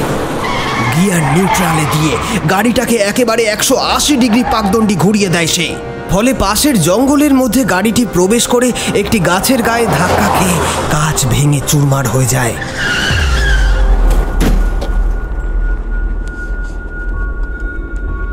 ওদিকে শয়তান ওয়েন্ডিগোর সিংয়ের আঘাত থেকে গাড়িটি বেঁচে যাওয়ায় সে মাথা নিচু করে এত জোরে দৌড়ে আসছিল যে টাল সামলাতে না পেরে বরফে পিছলে সোজা গিয়ে পড়ল পাশের খাঁদে। এতে তার বিন্দুমাত্র কিছু হবে না, রক্তিম সেটা জানে। তবুও কিছু সময়ের জন্য রেহাই পাওয়া গেল। এবার সে বলল, কে? কেমন লাগল আমার ড্রাইভিং হুম ভালো তো লাগলোই কিন্তু হৃৎপিণ্ড তো প্রায় মুখে উঠে এসেছিল। যাই হোক গাড়ির কাঁচটা যে ফেটে গেল এবার ওই হাওয়া ঢুকে শেষটাই নিউমোনিয়ায় মরবো তো। আরে ধুর মশাই আপনার তো সবেতেই কমপ্লেন রাস্তায় অনেক গাড়ি পড়ে আছে একটা নিয়ে নিলেই হলো। মানে? চুরি করবেন নাকি? হ্যাঁ তা চোরাই গাড়িতে চেপেছিলেন বলেই তো এই যাত্রায় বেঁচে গেলেন। এই কথা বলতে বলতে জঙ্গল থেকে গাড়িটা বার করলেন। তারপর বড় ওয়েন্ডিগোর পিছনে ধেয়ে আসা অপেক্ষাকৃত ছোট শয়তানগুলোকে অতি সুনিপুণভাবে বেরিয়ে এলেন পাশ কাটিয়ে। এই দেখুন আমি কিন্তু আপনার নামে ওয়ারেন্ট বার করে গ্রেপ্তার করব। ও বাবা পুলিশ নাকি? আগে জানলে তো নিজের জীবন বিপন্ন করে আপনাকে বাঁচাতাম না। তা কি নাম আপনার? অর্পণ নাগ। হুম তাই তো বলি কথায় কথায় এত ফোস ফোস করে ওঠেন কেন? কি বললেন? কিছু না কিছু না রাস্তার পাশে একটু গাড়ি দেখুন তো। এই গাড়ির অবস্থা অত্যন্ত সঙ্গীন। এই তো আমরা রক্তিমকে আবারও দেখতে পেলাম। তবে মনে হচ্ছে সেইবার কিছু বিশেষ ক্ষমতার অধিকারী। নয়তো ওই ভয়াবহ নরখাদক মাংসভোগগুলোকে মারা এত সহজ হতো না। কিন্তু রক্তিম এখানে এলো কি করে? সেটা জানার থেকেও আরও একটা গুরুত্বপূর্ণ ঘটনা ঘটে চলেছে অর্পণের বাড়ি কুহকিনিতে।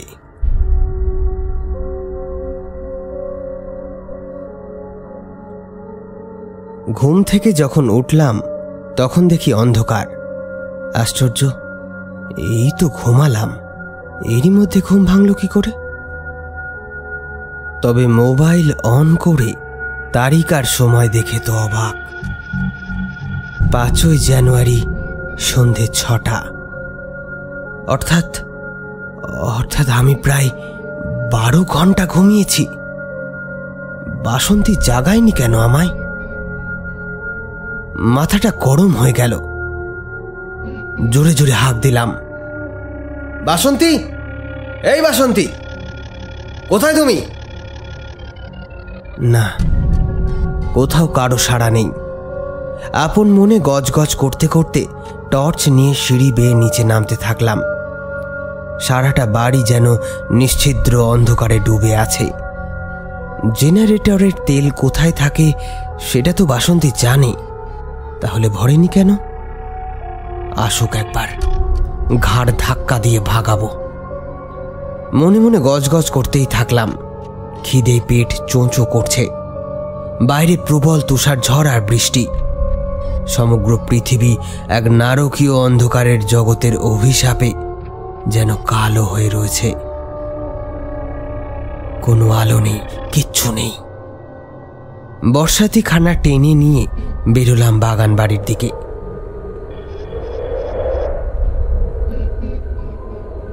আমার বাড়ির বাগানের পিছন দিক ঘেঁষে একটা ওয়ার্কশপ মতো আছে। এই বাড়ির বিদ্যুৎ সংযোগ বজায় রাখতে দুটি শক্তিশালী জেনারেটর ব্যবহৃত হয়। ওয়ার্কশপের জন্য বরাদ্দ বিশাল কাঠের ঘরটায় পর্যাপ্ত জ্বালানি আনিয়ে রাখা। এক আকাশ ঝড় বৃষ্টি মাথায় করে গেলাম সেখানে। যার থেকে চ্যানেলে করে জেনারেটরের ইঞ্জিনে জ্বালানি ঢালতে লাগলাম। ইস, কেউ যদি একটু সাহায্য করত? মনে মনে এমনটাই ভাবছিলাম।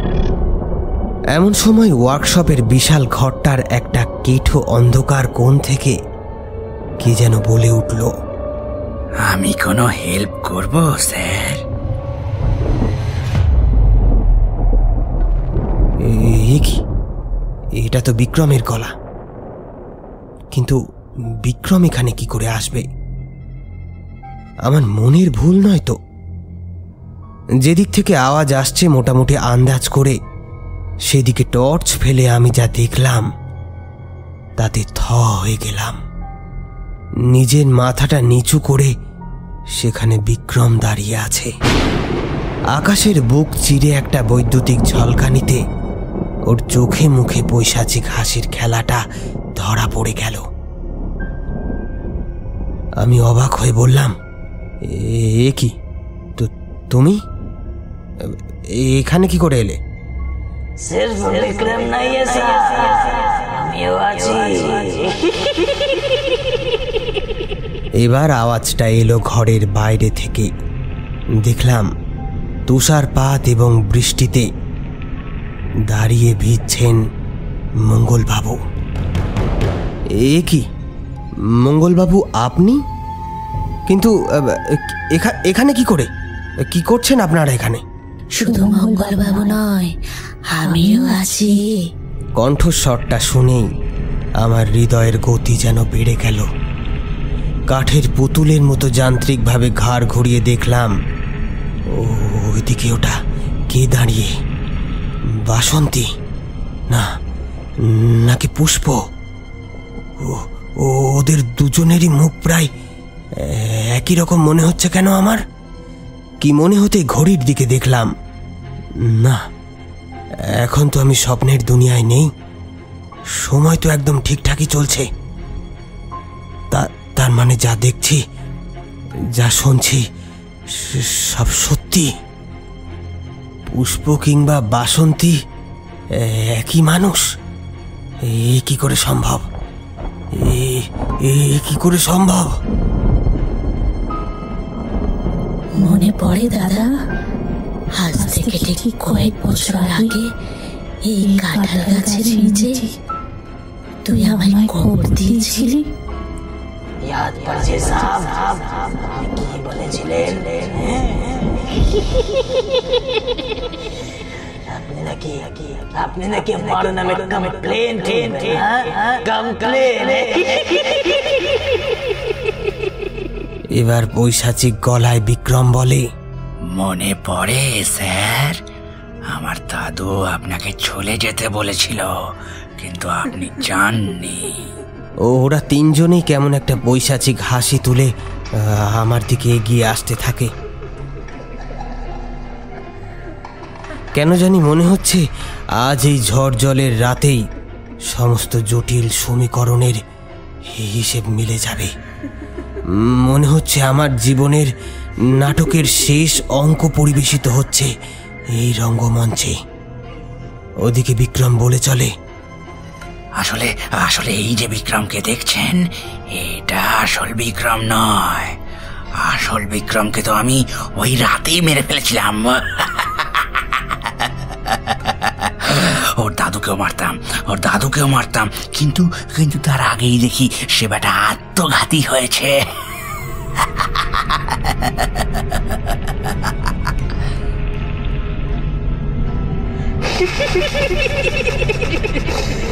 আপনি সেই ছিলেন বিলকুল সেই ও আপনারা বেঙ্গলিরা একটা কথা বলে না সর্ষের মধ্যে ভূত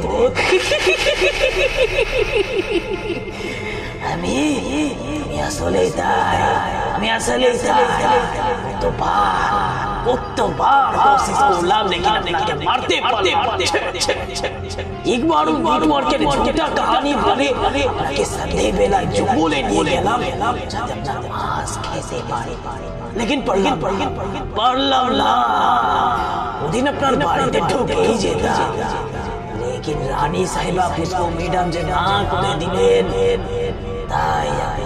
तो बेचे आजे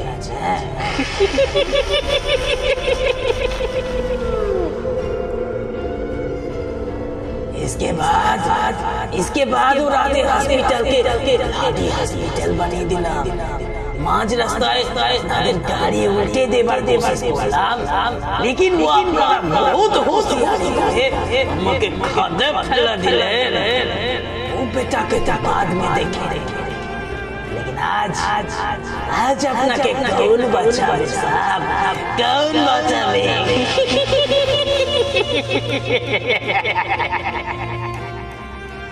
এতদিন ধরে যে গোল গোল মাংস খেয়েছিস জানিস ওটা কি?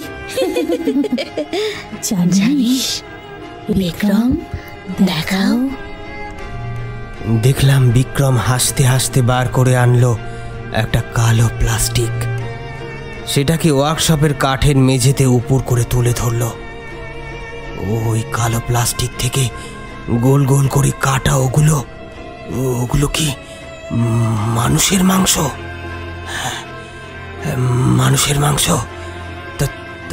তার মানে এতদিন ধরে বিমল মহারাজন আর বাসন্তী, আমায় মানুষের মাংস খাইয়েছে।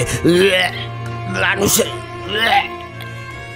ওই রাতে পাহারা দেওয়ার সময় তো আমি আপনাকে এটাই বলার চেষ্টা করছিলাম যে আপনি আজ ডিনারে হিউম্যান ফেস খেয়েছেন হিউম্যান ফেস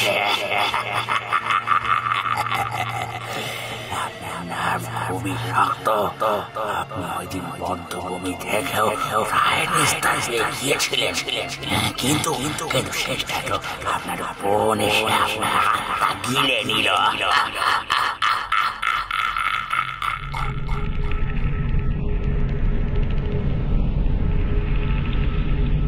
এইসব কি শুনছি আমি? অর্থাৎ সেই রাতেই আমার আত্মা উৎসর্গীকৃত হয়েছিল। তাহলে আমি কে? মনের কথা যেন বুঝে গেল পুষ্প। ও বলল, এখন তোর মধ্যে যে আছে, সেও একটা ভেন্ডিগো। তোর আত্মার পুরোটা আমি গ্রাস করিনি। করিনি রে দাদা, করলে তুই বেঁচে থাকতি না। তোর আত্মার কিছুটা শক্তি আমি গ্রাস করেছি। কারণ বাকিটা আজ করব। হ্যাঁ আজ। যাতে প্রবল যন্ত্রণার মধ্যে দিয়ে তুই মরিস।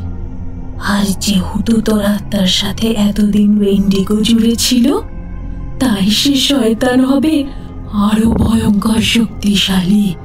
আরও কুটিল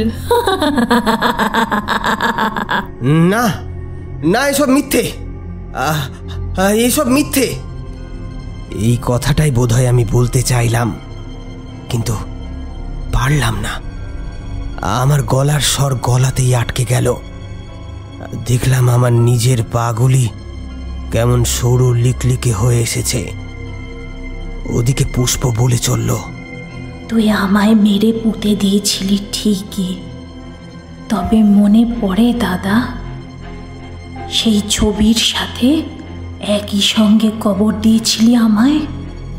আমি মর মর অবস্থায় বাঁচার শেষ চেষ্টা করে আমার আত্মার পুরোপুরিভাবে সঁপে দিই তারই হাতে এবং পেয়ে যাই এক নতুন জীবন, এক অপার্থিব শক্তি। তারপর একে একে নিজের গোষ্ঠী বাড়িয়ে চলি। এই মঙ্গলবাবু? এই মঙ্গলবাবু এক সময় মানুষ ছিল। এখন না মানুষ হয়ে গেছে। তোরই চোখ কুহক জালে বেঁধে, বাসন্তী হয়ে ঘরে ঢুকি, যাতে তুই চিনতে না পারিস। ওই বিমল বুড়ো কোনো কাজের না, তাই তাকে সরিয়ে দিয়েছি। আমি তো তোর কোনোদিনও কোনো ক্ষতি চাইনি রে দাদা। কিন্তু তবুও তুই আমাকে সম্পত্তির লোভে মারলি। সহসা আকাশের বুকে খেলে গেল তড়িৎ প্রবাহ। পৃথিবী যেন আজকে কেঁপে উঠেছে। বড় বড় ফোঁটায় শিলাবৃষ্টি খসে পড়ছে দিগন্তের ওই বিস্তীর্ণ কালো চাদরের গা থেকে। আমার মনের মধ্যে অনেক কথা চলতে থাকল একসাথে। এই বোধহয় শেষ। আর দেখা হবে না, প্রিয়তমা। আমার প্রাণবন্ত শরীরটা একটু বাদেই ওরা ছিঁড়ে খাবে, একেবারে জ্যান্ত। ব্যথা হবে না? হ্যাঁ। তা হবে বই কি? এভাবেই হয়তো আমাদের সবার নিয়তি অনেকদিন আগে থেকেই একসাথে জুড়ে ছিল। নকশাল আন্দোলন, বিমল বিস্তার ওই ছবি নিয়ে কলকাতায় আসা, কলকাতায় ড্রাকুলার জন্ম, পুষ্পর পাল্টে যাওয়া, পুষ্পকে নিজে হাতে খুন করা, এখানে রহস্যময় মৃত্যুদূতের হানা, অনামিকাকে ছেড়ে ডাউহিলে আমার ডিউটি দিতে আসা। সেই সাথে শক্তিধর রক্তিমের সঙ্গে দেখা হওয়া, আর এখন এখন ক্রমাগত মানুষ থেকে ওয়েন্ডিগোতে পাল্টে যেতে থাকা তিন তিনটে নরপিসাচের সামনে তুষার ঝড় মাথায় করে অসহায়ভাবে দাঁড়িয়ে মৃত্যুর প্রতীক্ষা করা। আমি অর্পণ নাক মনে হতে লাগল আমি যেন একটা বলির পাঠা, যার মাথাটা হাঁড়ি কাঠে ঢুকিয়ে দেওয়া আছে। ওই যে অনতি দূরেই খাঁড়ায় শান দেওয়া হচ্ছে। একটু বাদেই সেই খাড়া নেমে আসবে ঘাড়ের ওপর। চোখের সামনেই দেখতে পাচ্ছি বিক্রম, মঙ্গলবাবু এবং পুষ্পর শরীরগুলো কেমন থরথর করে কাঁপতে শুরু করেছে।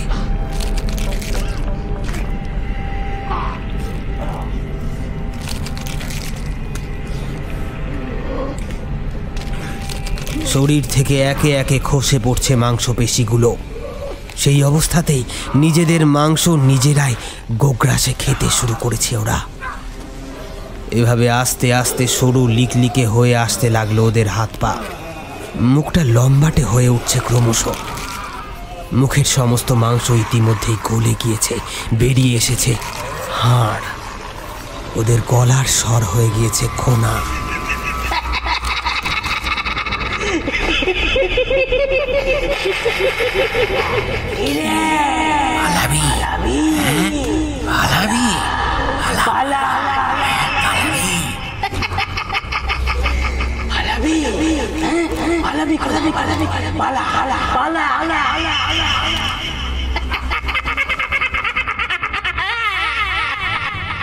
চোখের কালো মনি অদৃশ্য হয়ে ধীরে ধীরে তার বদলে সেখানে ফুটে উঠল। জলজলে সাদা চোখ। মাথার উপর আস্তে আস্তে গজিয়ে উঠছে কালচে লাল রঙা হরিণের মতো শিং। হাঁ হয়ে যাওয়া মুখের মধ্যে ঝকঝক করছে লম্বা লম্বা দাঁতের শাড়ি। ওরা এবার এক পা এক পা করে এগিয়ে আসতে থাকে আমারই দিকে। এই মুহূর্তে আমার মনে আর কোনো ভয় নেই। আসলে চরম আতঙ্কের মুহূর্তে মানুষের মনের সমস্ত ভয় বোধহয় লোপ পায়। আমি ওদের দিক থেকে চোখ সরিয়ে জেনারেটরের দিকে তাকালাম। দেখলাম তেল উপচে পড়ছে মাটিতে। তৎক্ষণাৎ মাথায় বিদ্যুৎ খেলে গেল। আমি আর কিচ্ছু শুনলাম না। আমার এখন আগুন চাই, আগুন। এক মুহূর্ত সময় নষ্ট না করে হাতের লাইটারটা ধরিয়ে ছুড়ে দিলাম জেনারেটরের গায়ে। নিমেষের মধ্যে ওতে আগুন ধরে গেল। তারপর আকাশ বাতাস কাঁপিয়ে এক প্রচণ্ড বিস্ফোরণ।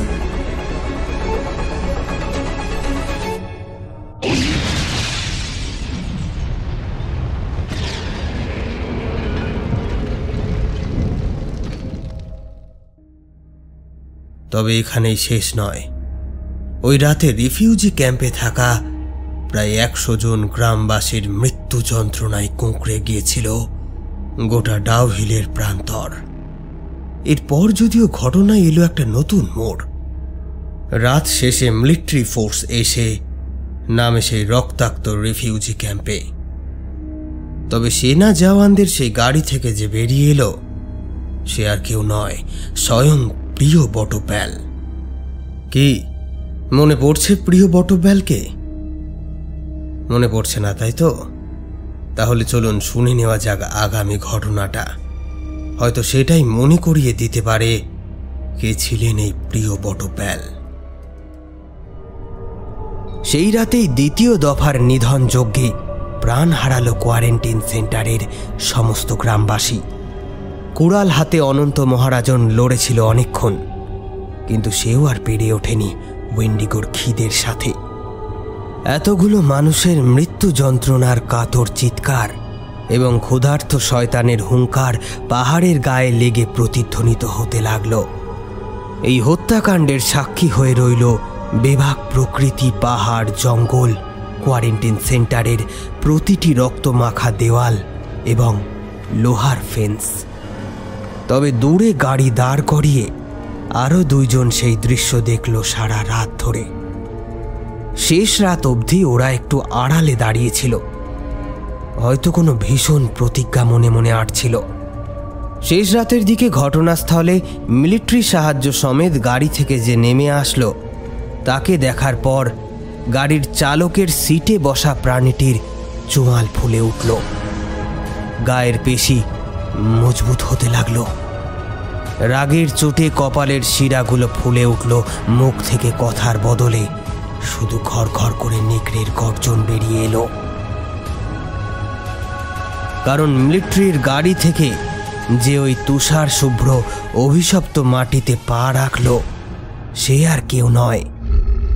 তার রামুদার হত্যাকারী অফিসার প্রিয় বটপ্যাল সেদিন ডুমুর গড়ে গাড়ি থামিয়ে সবটা দেখেছিল সে। কীভাবে মা ভবানীর নাম তুলে রামুদা শেষ করেছিল শয়তান মৃগেন্দ্রকে। এবং তারপর কীভাবে সেই একশো লাইকেনের দল মিলে একসাথে সদ্য লাইকেন ওয়ারুলফের শক্তি পাওয়া রামুদাকে শেষ করেছিল। সেদিন রামুদা কুড়ি পঁচিশ খানার বেশি শয়তানকে মারতে পারেনি। আর তার জন্যই ওর ভালোবাসার মানুষ রামুদাকে মরতে হয়েছিল প্রিয় বট বটব্যালের হাতে। আর আজ ওর সামনেই ওয়েন্ডিগোর ক্ষুধার শিকার হলো একশো নিরপরাধ গ্রামবাসী। প্রতিশোধ? এবার সে প্রতিশোধ নেবে। হলোই বা সে নিজে শয়তান, হলোই বা সে আলফা লাইকেন। তবুও বজরংবলির দিব্যি, মা মুন্ডু মালিনীর দিব্যি, একটা শয়তানকেও সে ছাড়বে না। তৃষা গাড়ির ভেতরে চুপটি করে বসে। সে সবটুকু শুনে স্বেচ্ছায় রক্তিমের সাথে থাকতে রাজি হয়েছে। ওদিকে প্রিয় বটব্যাল মিলিটারি ফোর্সের সাথে ধীরে ধীরে এগিয়ে আসছে রক্তাক্ত কোয়ারেন্টিন সেন্টারের দিকে। সমস্ত জায়গাটা ঘুটঘুটে অন্ধকার। মিলিটারি ফোর্স ফ্ল্যাশ লাইট জেলে এগিয়ে গেলেও প্রিয়বাবুর সেসবের কোনো কিছুরই প্রয়োজন পড়ে না। ফোর্সকে একদিক দেখতে বলে উনি একাকী অন্ধকারে মিশে গেলেন। হাওয়ায় নাক তুলে কি যেন শুকতে লাগলেন। না এখন লোভ সংবরণ করতে হবে। নেহাতি ইউনিফর্ম পরে আছেন, নয়তো। হঠাৎই কিসের একটা শব্দে ওনার কান খাড়া হয়ে উঠল।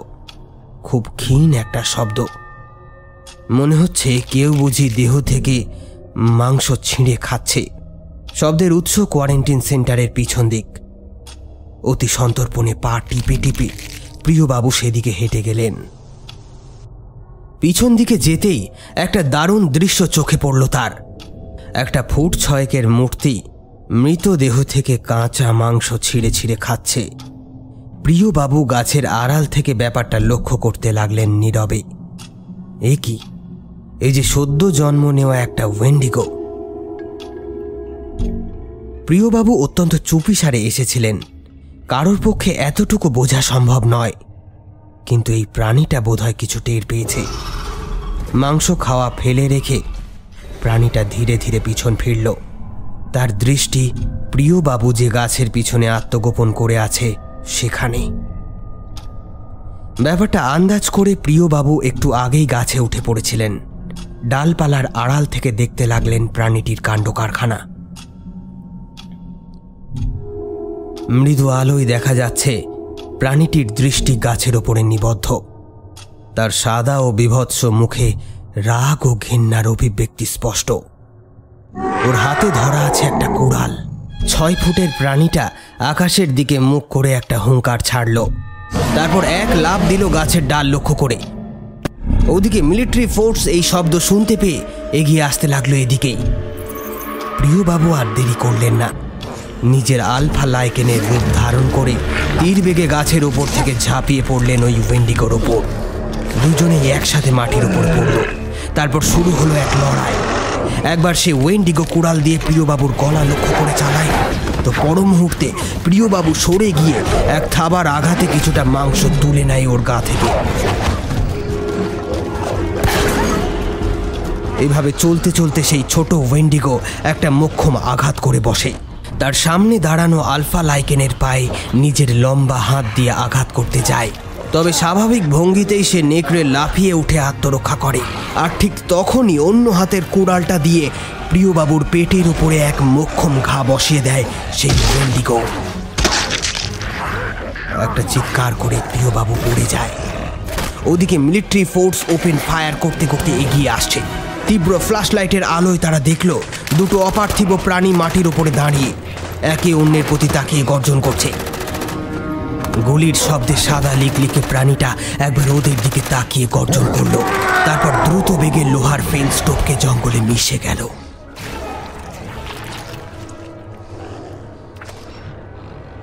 চোখের সামনে এসব দেখার পর সেনাবাহিনীর প্রত্যেকের নিঃশ্বাস ঘন ঘন পড়ছে।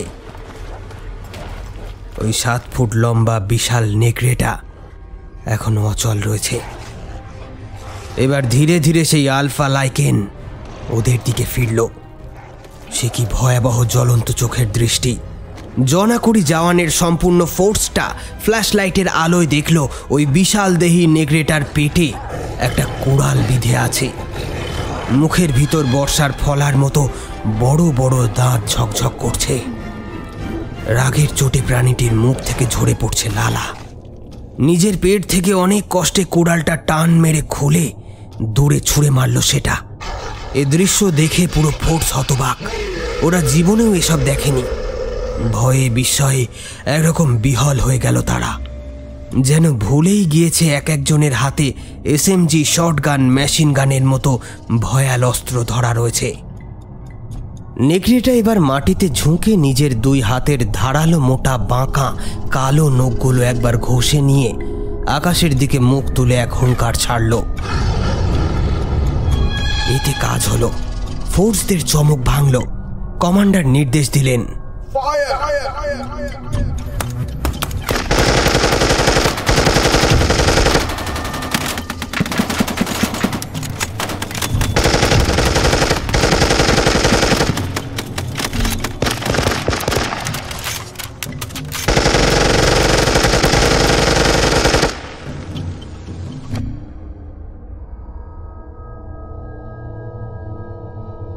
মুহূর্তের মধ্যে নিশ্চুপ ডাউহিল মুখরিত হয়ে উঠল গুলিগোলার আওয়াজে।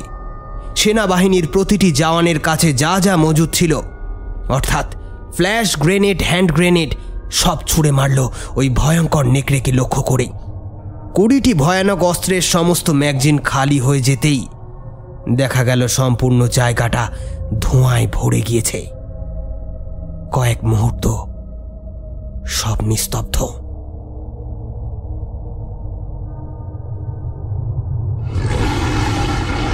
তারপর চোখের পলকে হঠাৎই সেই ধোয়ার মধ্যে থেকে একটা মূর্তি লাফিয়ে পড়ল ওদের ঘাড়ে। আসলে যে কোনো অস্ত্রই ওই প্রাণীকে ঠেকাতে অক্ষম, সে কথা বোধহয় সেনাবাহিনীরা জানত না। প্রিয়বাবু বড়ই চালাক, সেই সেনাবাহিনীর একজন কেউ মারবে না। ওই ওয়েন্ডিগোর সাথে লড়তে হলে কিংবা কার্শিয়াংয়ের বাইরের মিলিটারি ফোর্সের সাথে লড়তে হলে তারও তো একটি নিজের দল চাই। ডুমুর গর্ত শেষ হয়েছে। এবার এই জায়গার পালা। আকাশের দিকে মুখ তুলে তাকিয়ে একটা হুঙ্কার করল সেই আলফা লাইকেন। তৎক্ষণাৎ কোয়ারেন্টিন ক্যাম্পের সামনের পাহাড় চূড়া থেকে অন্য আরেকটি গর্জন ভেসে এলো।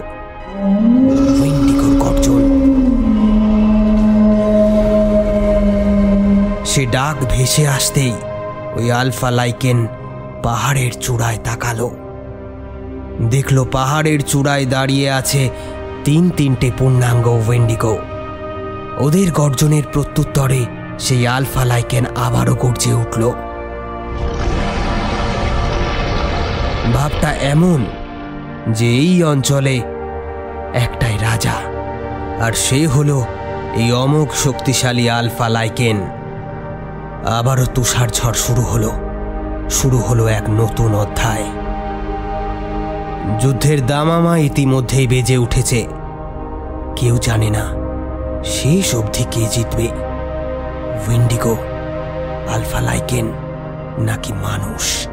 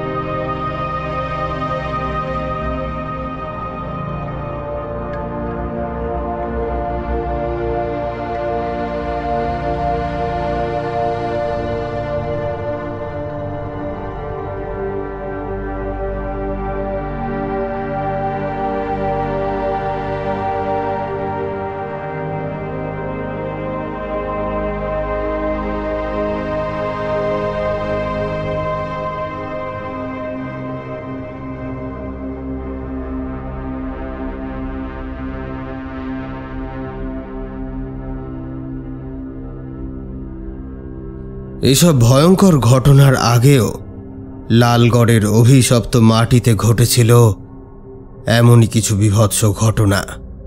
লালগড়ে আবির্ভূত সেই শয়তান এবং তার নিধন পর্ব। সমস্তটাই আপনারা শুনেছেন। যদি না শুনে থাকেন ডিসক্রিপশন বক্সে অভিশপ্ত লালগড় এবং তার আগের পর্বের লিংক পেয়ে যাবেন। লালগড়ে সুবিমল তার ঈশ্বর প্রদত্ত শক্তির দ্বারা শয়তানকে কেবলমাত্র তাড়াতে পেরেছিল। শয়তানের বিনাশ কিন্তু এখনও হয়নি।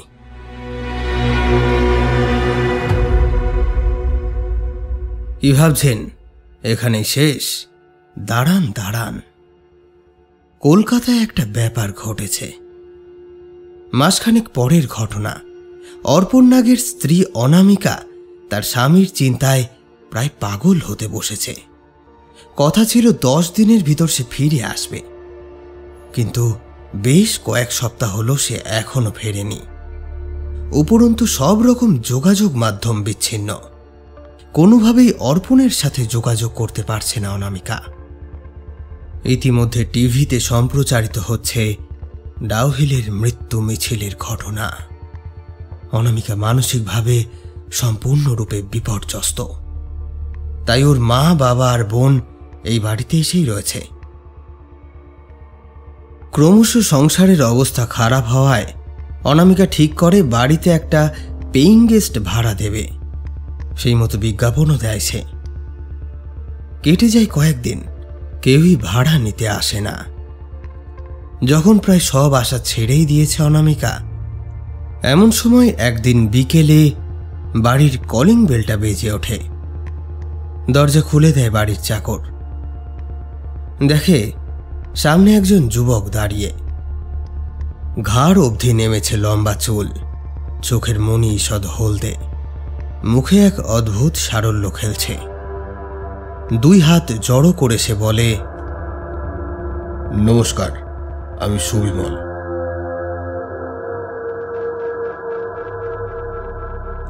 আশা রাখি আপনারা বুঝতেই পেরেছিলেন নরখাদকের রক্ত উল্লাসের ডুমুরগড় মাংসভোকের মৃত্যু ডাকের ডাউহিল এবং অভিশপ্ত লালগড়ের ভয়ঙ্কর ঘটনাগুলোকে আপাত দৃষ্টিতে বিক্ষিপ্ত দেখালেও সেগুলো বড় কোনো ঘটনার দিকে ইঙ্গিত করছিল।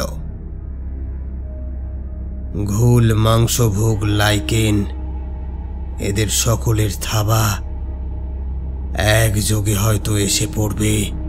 খোদ কলকাতার বুকে। তবে এখনও কিন্তু ডাউহিলের সমস্যার সমাধান হয়নি। কে করবে সেই সমস্যার সমাধান? জানি জানি। এখনও অনেক প্রশ্নের উত্তর পাওয়া আপনাদের বাকি।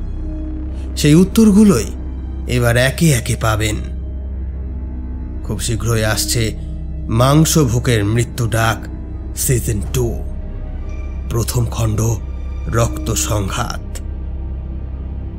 আসছে এই মাসের শেষেই শুধুমাত্র গল্প কথায় আমাদের সমস্ত শ্রোতাদের সুবিধের কথা মাথায় রেখেই পূর্ববর্তী সমস্ত গল্পকে আমরা একযোগে একসাথে আপনাদেরকে শুনিয়ে দিলাম। কারণ আগের গল্পগুলি না শুনলে আগত মাংসভোকের মৃত্যু ডাক সিজন টু এর সম্পূর্ণ মজা আপনারা হয়তো উপভোগ করতে পারবেন না। এছাড়া পুরো গল্পগুলি যদি শুনতে চান, তাহলে ডেসক্রিপশন বক্স থেকে লিংক সংগ্রহ করতে পারেন। খুব শীঘ্রই হাজির হচ্ছে অতনু বল্লভের রক্তাক্ত, ভয়ঙ্কর হাড় হিম করা অডিও ভার্স মাংস ভোকের মৃত্যু ডাক সিজন টু নিয়ে।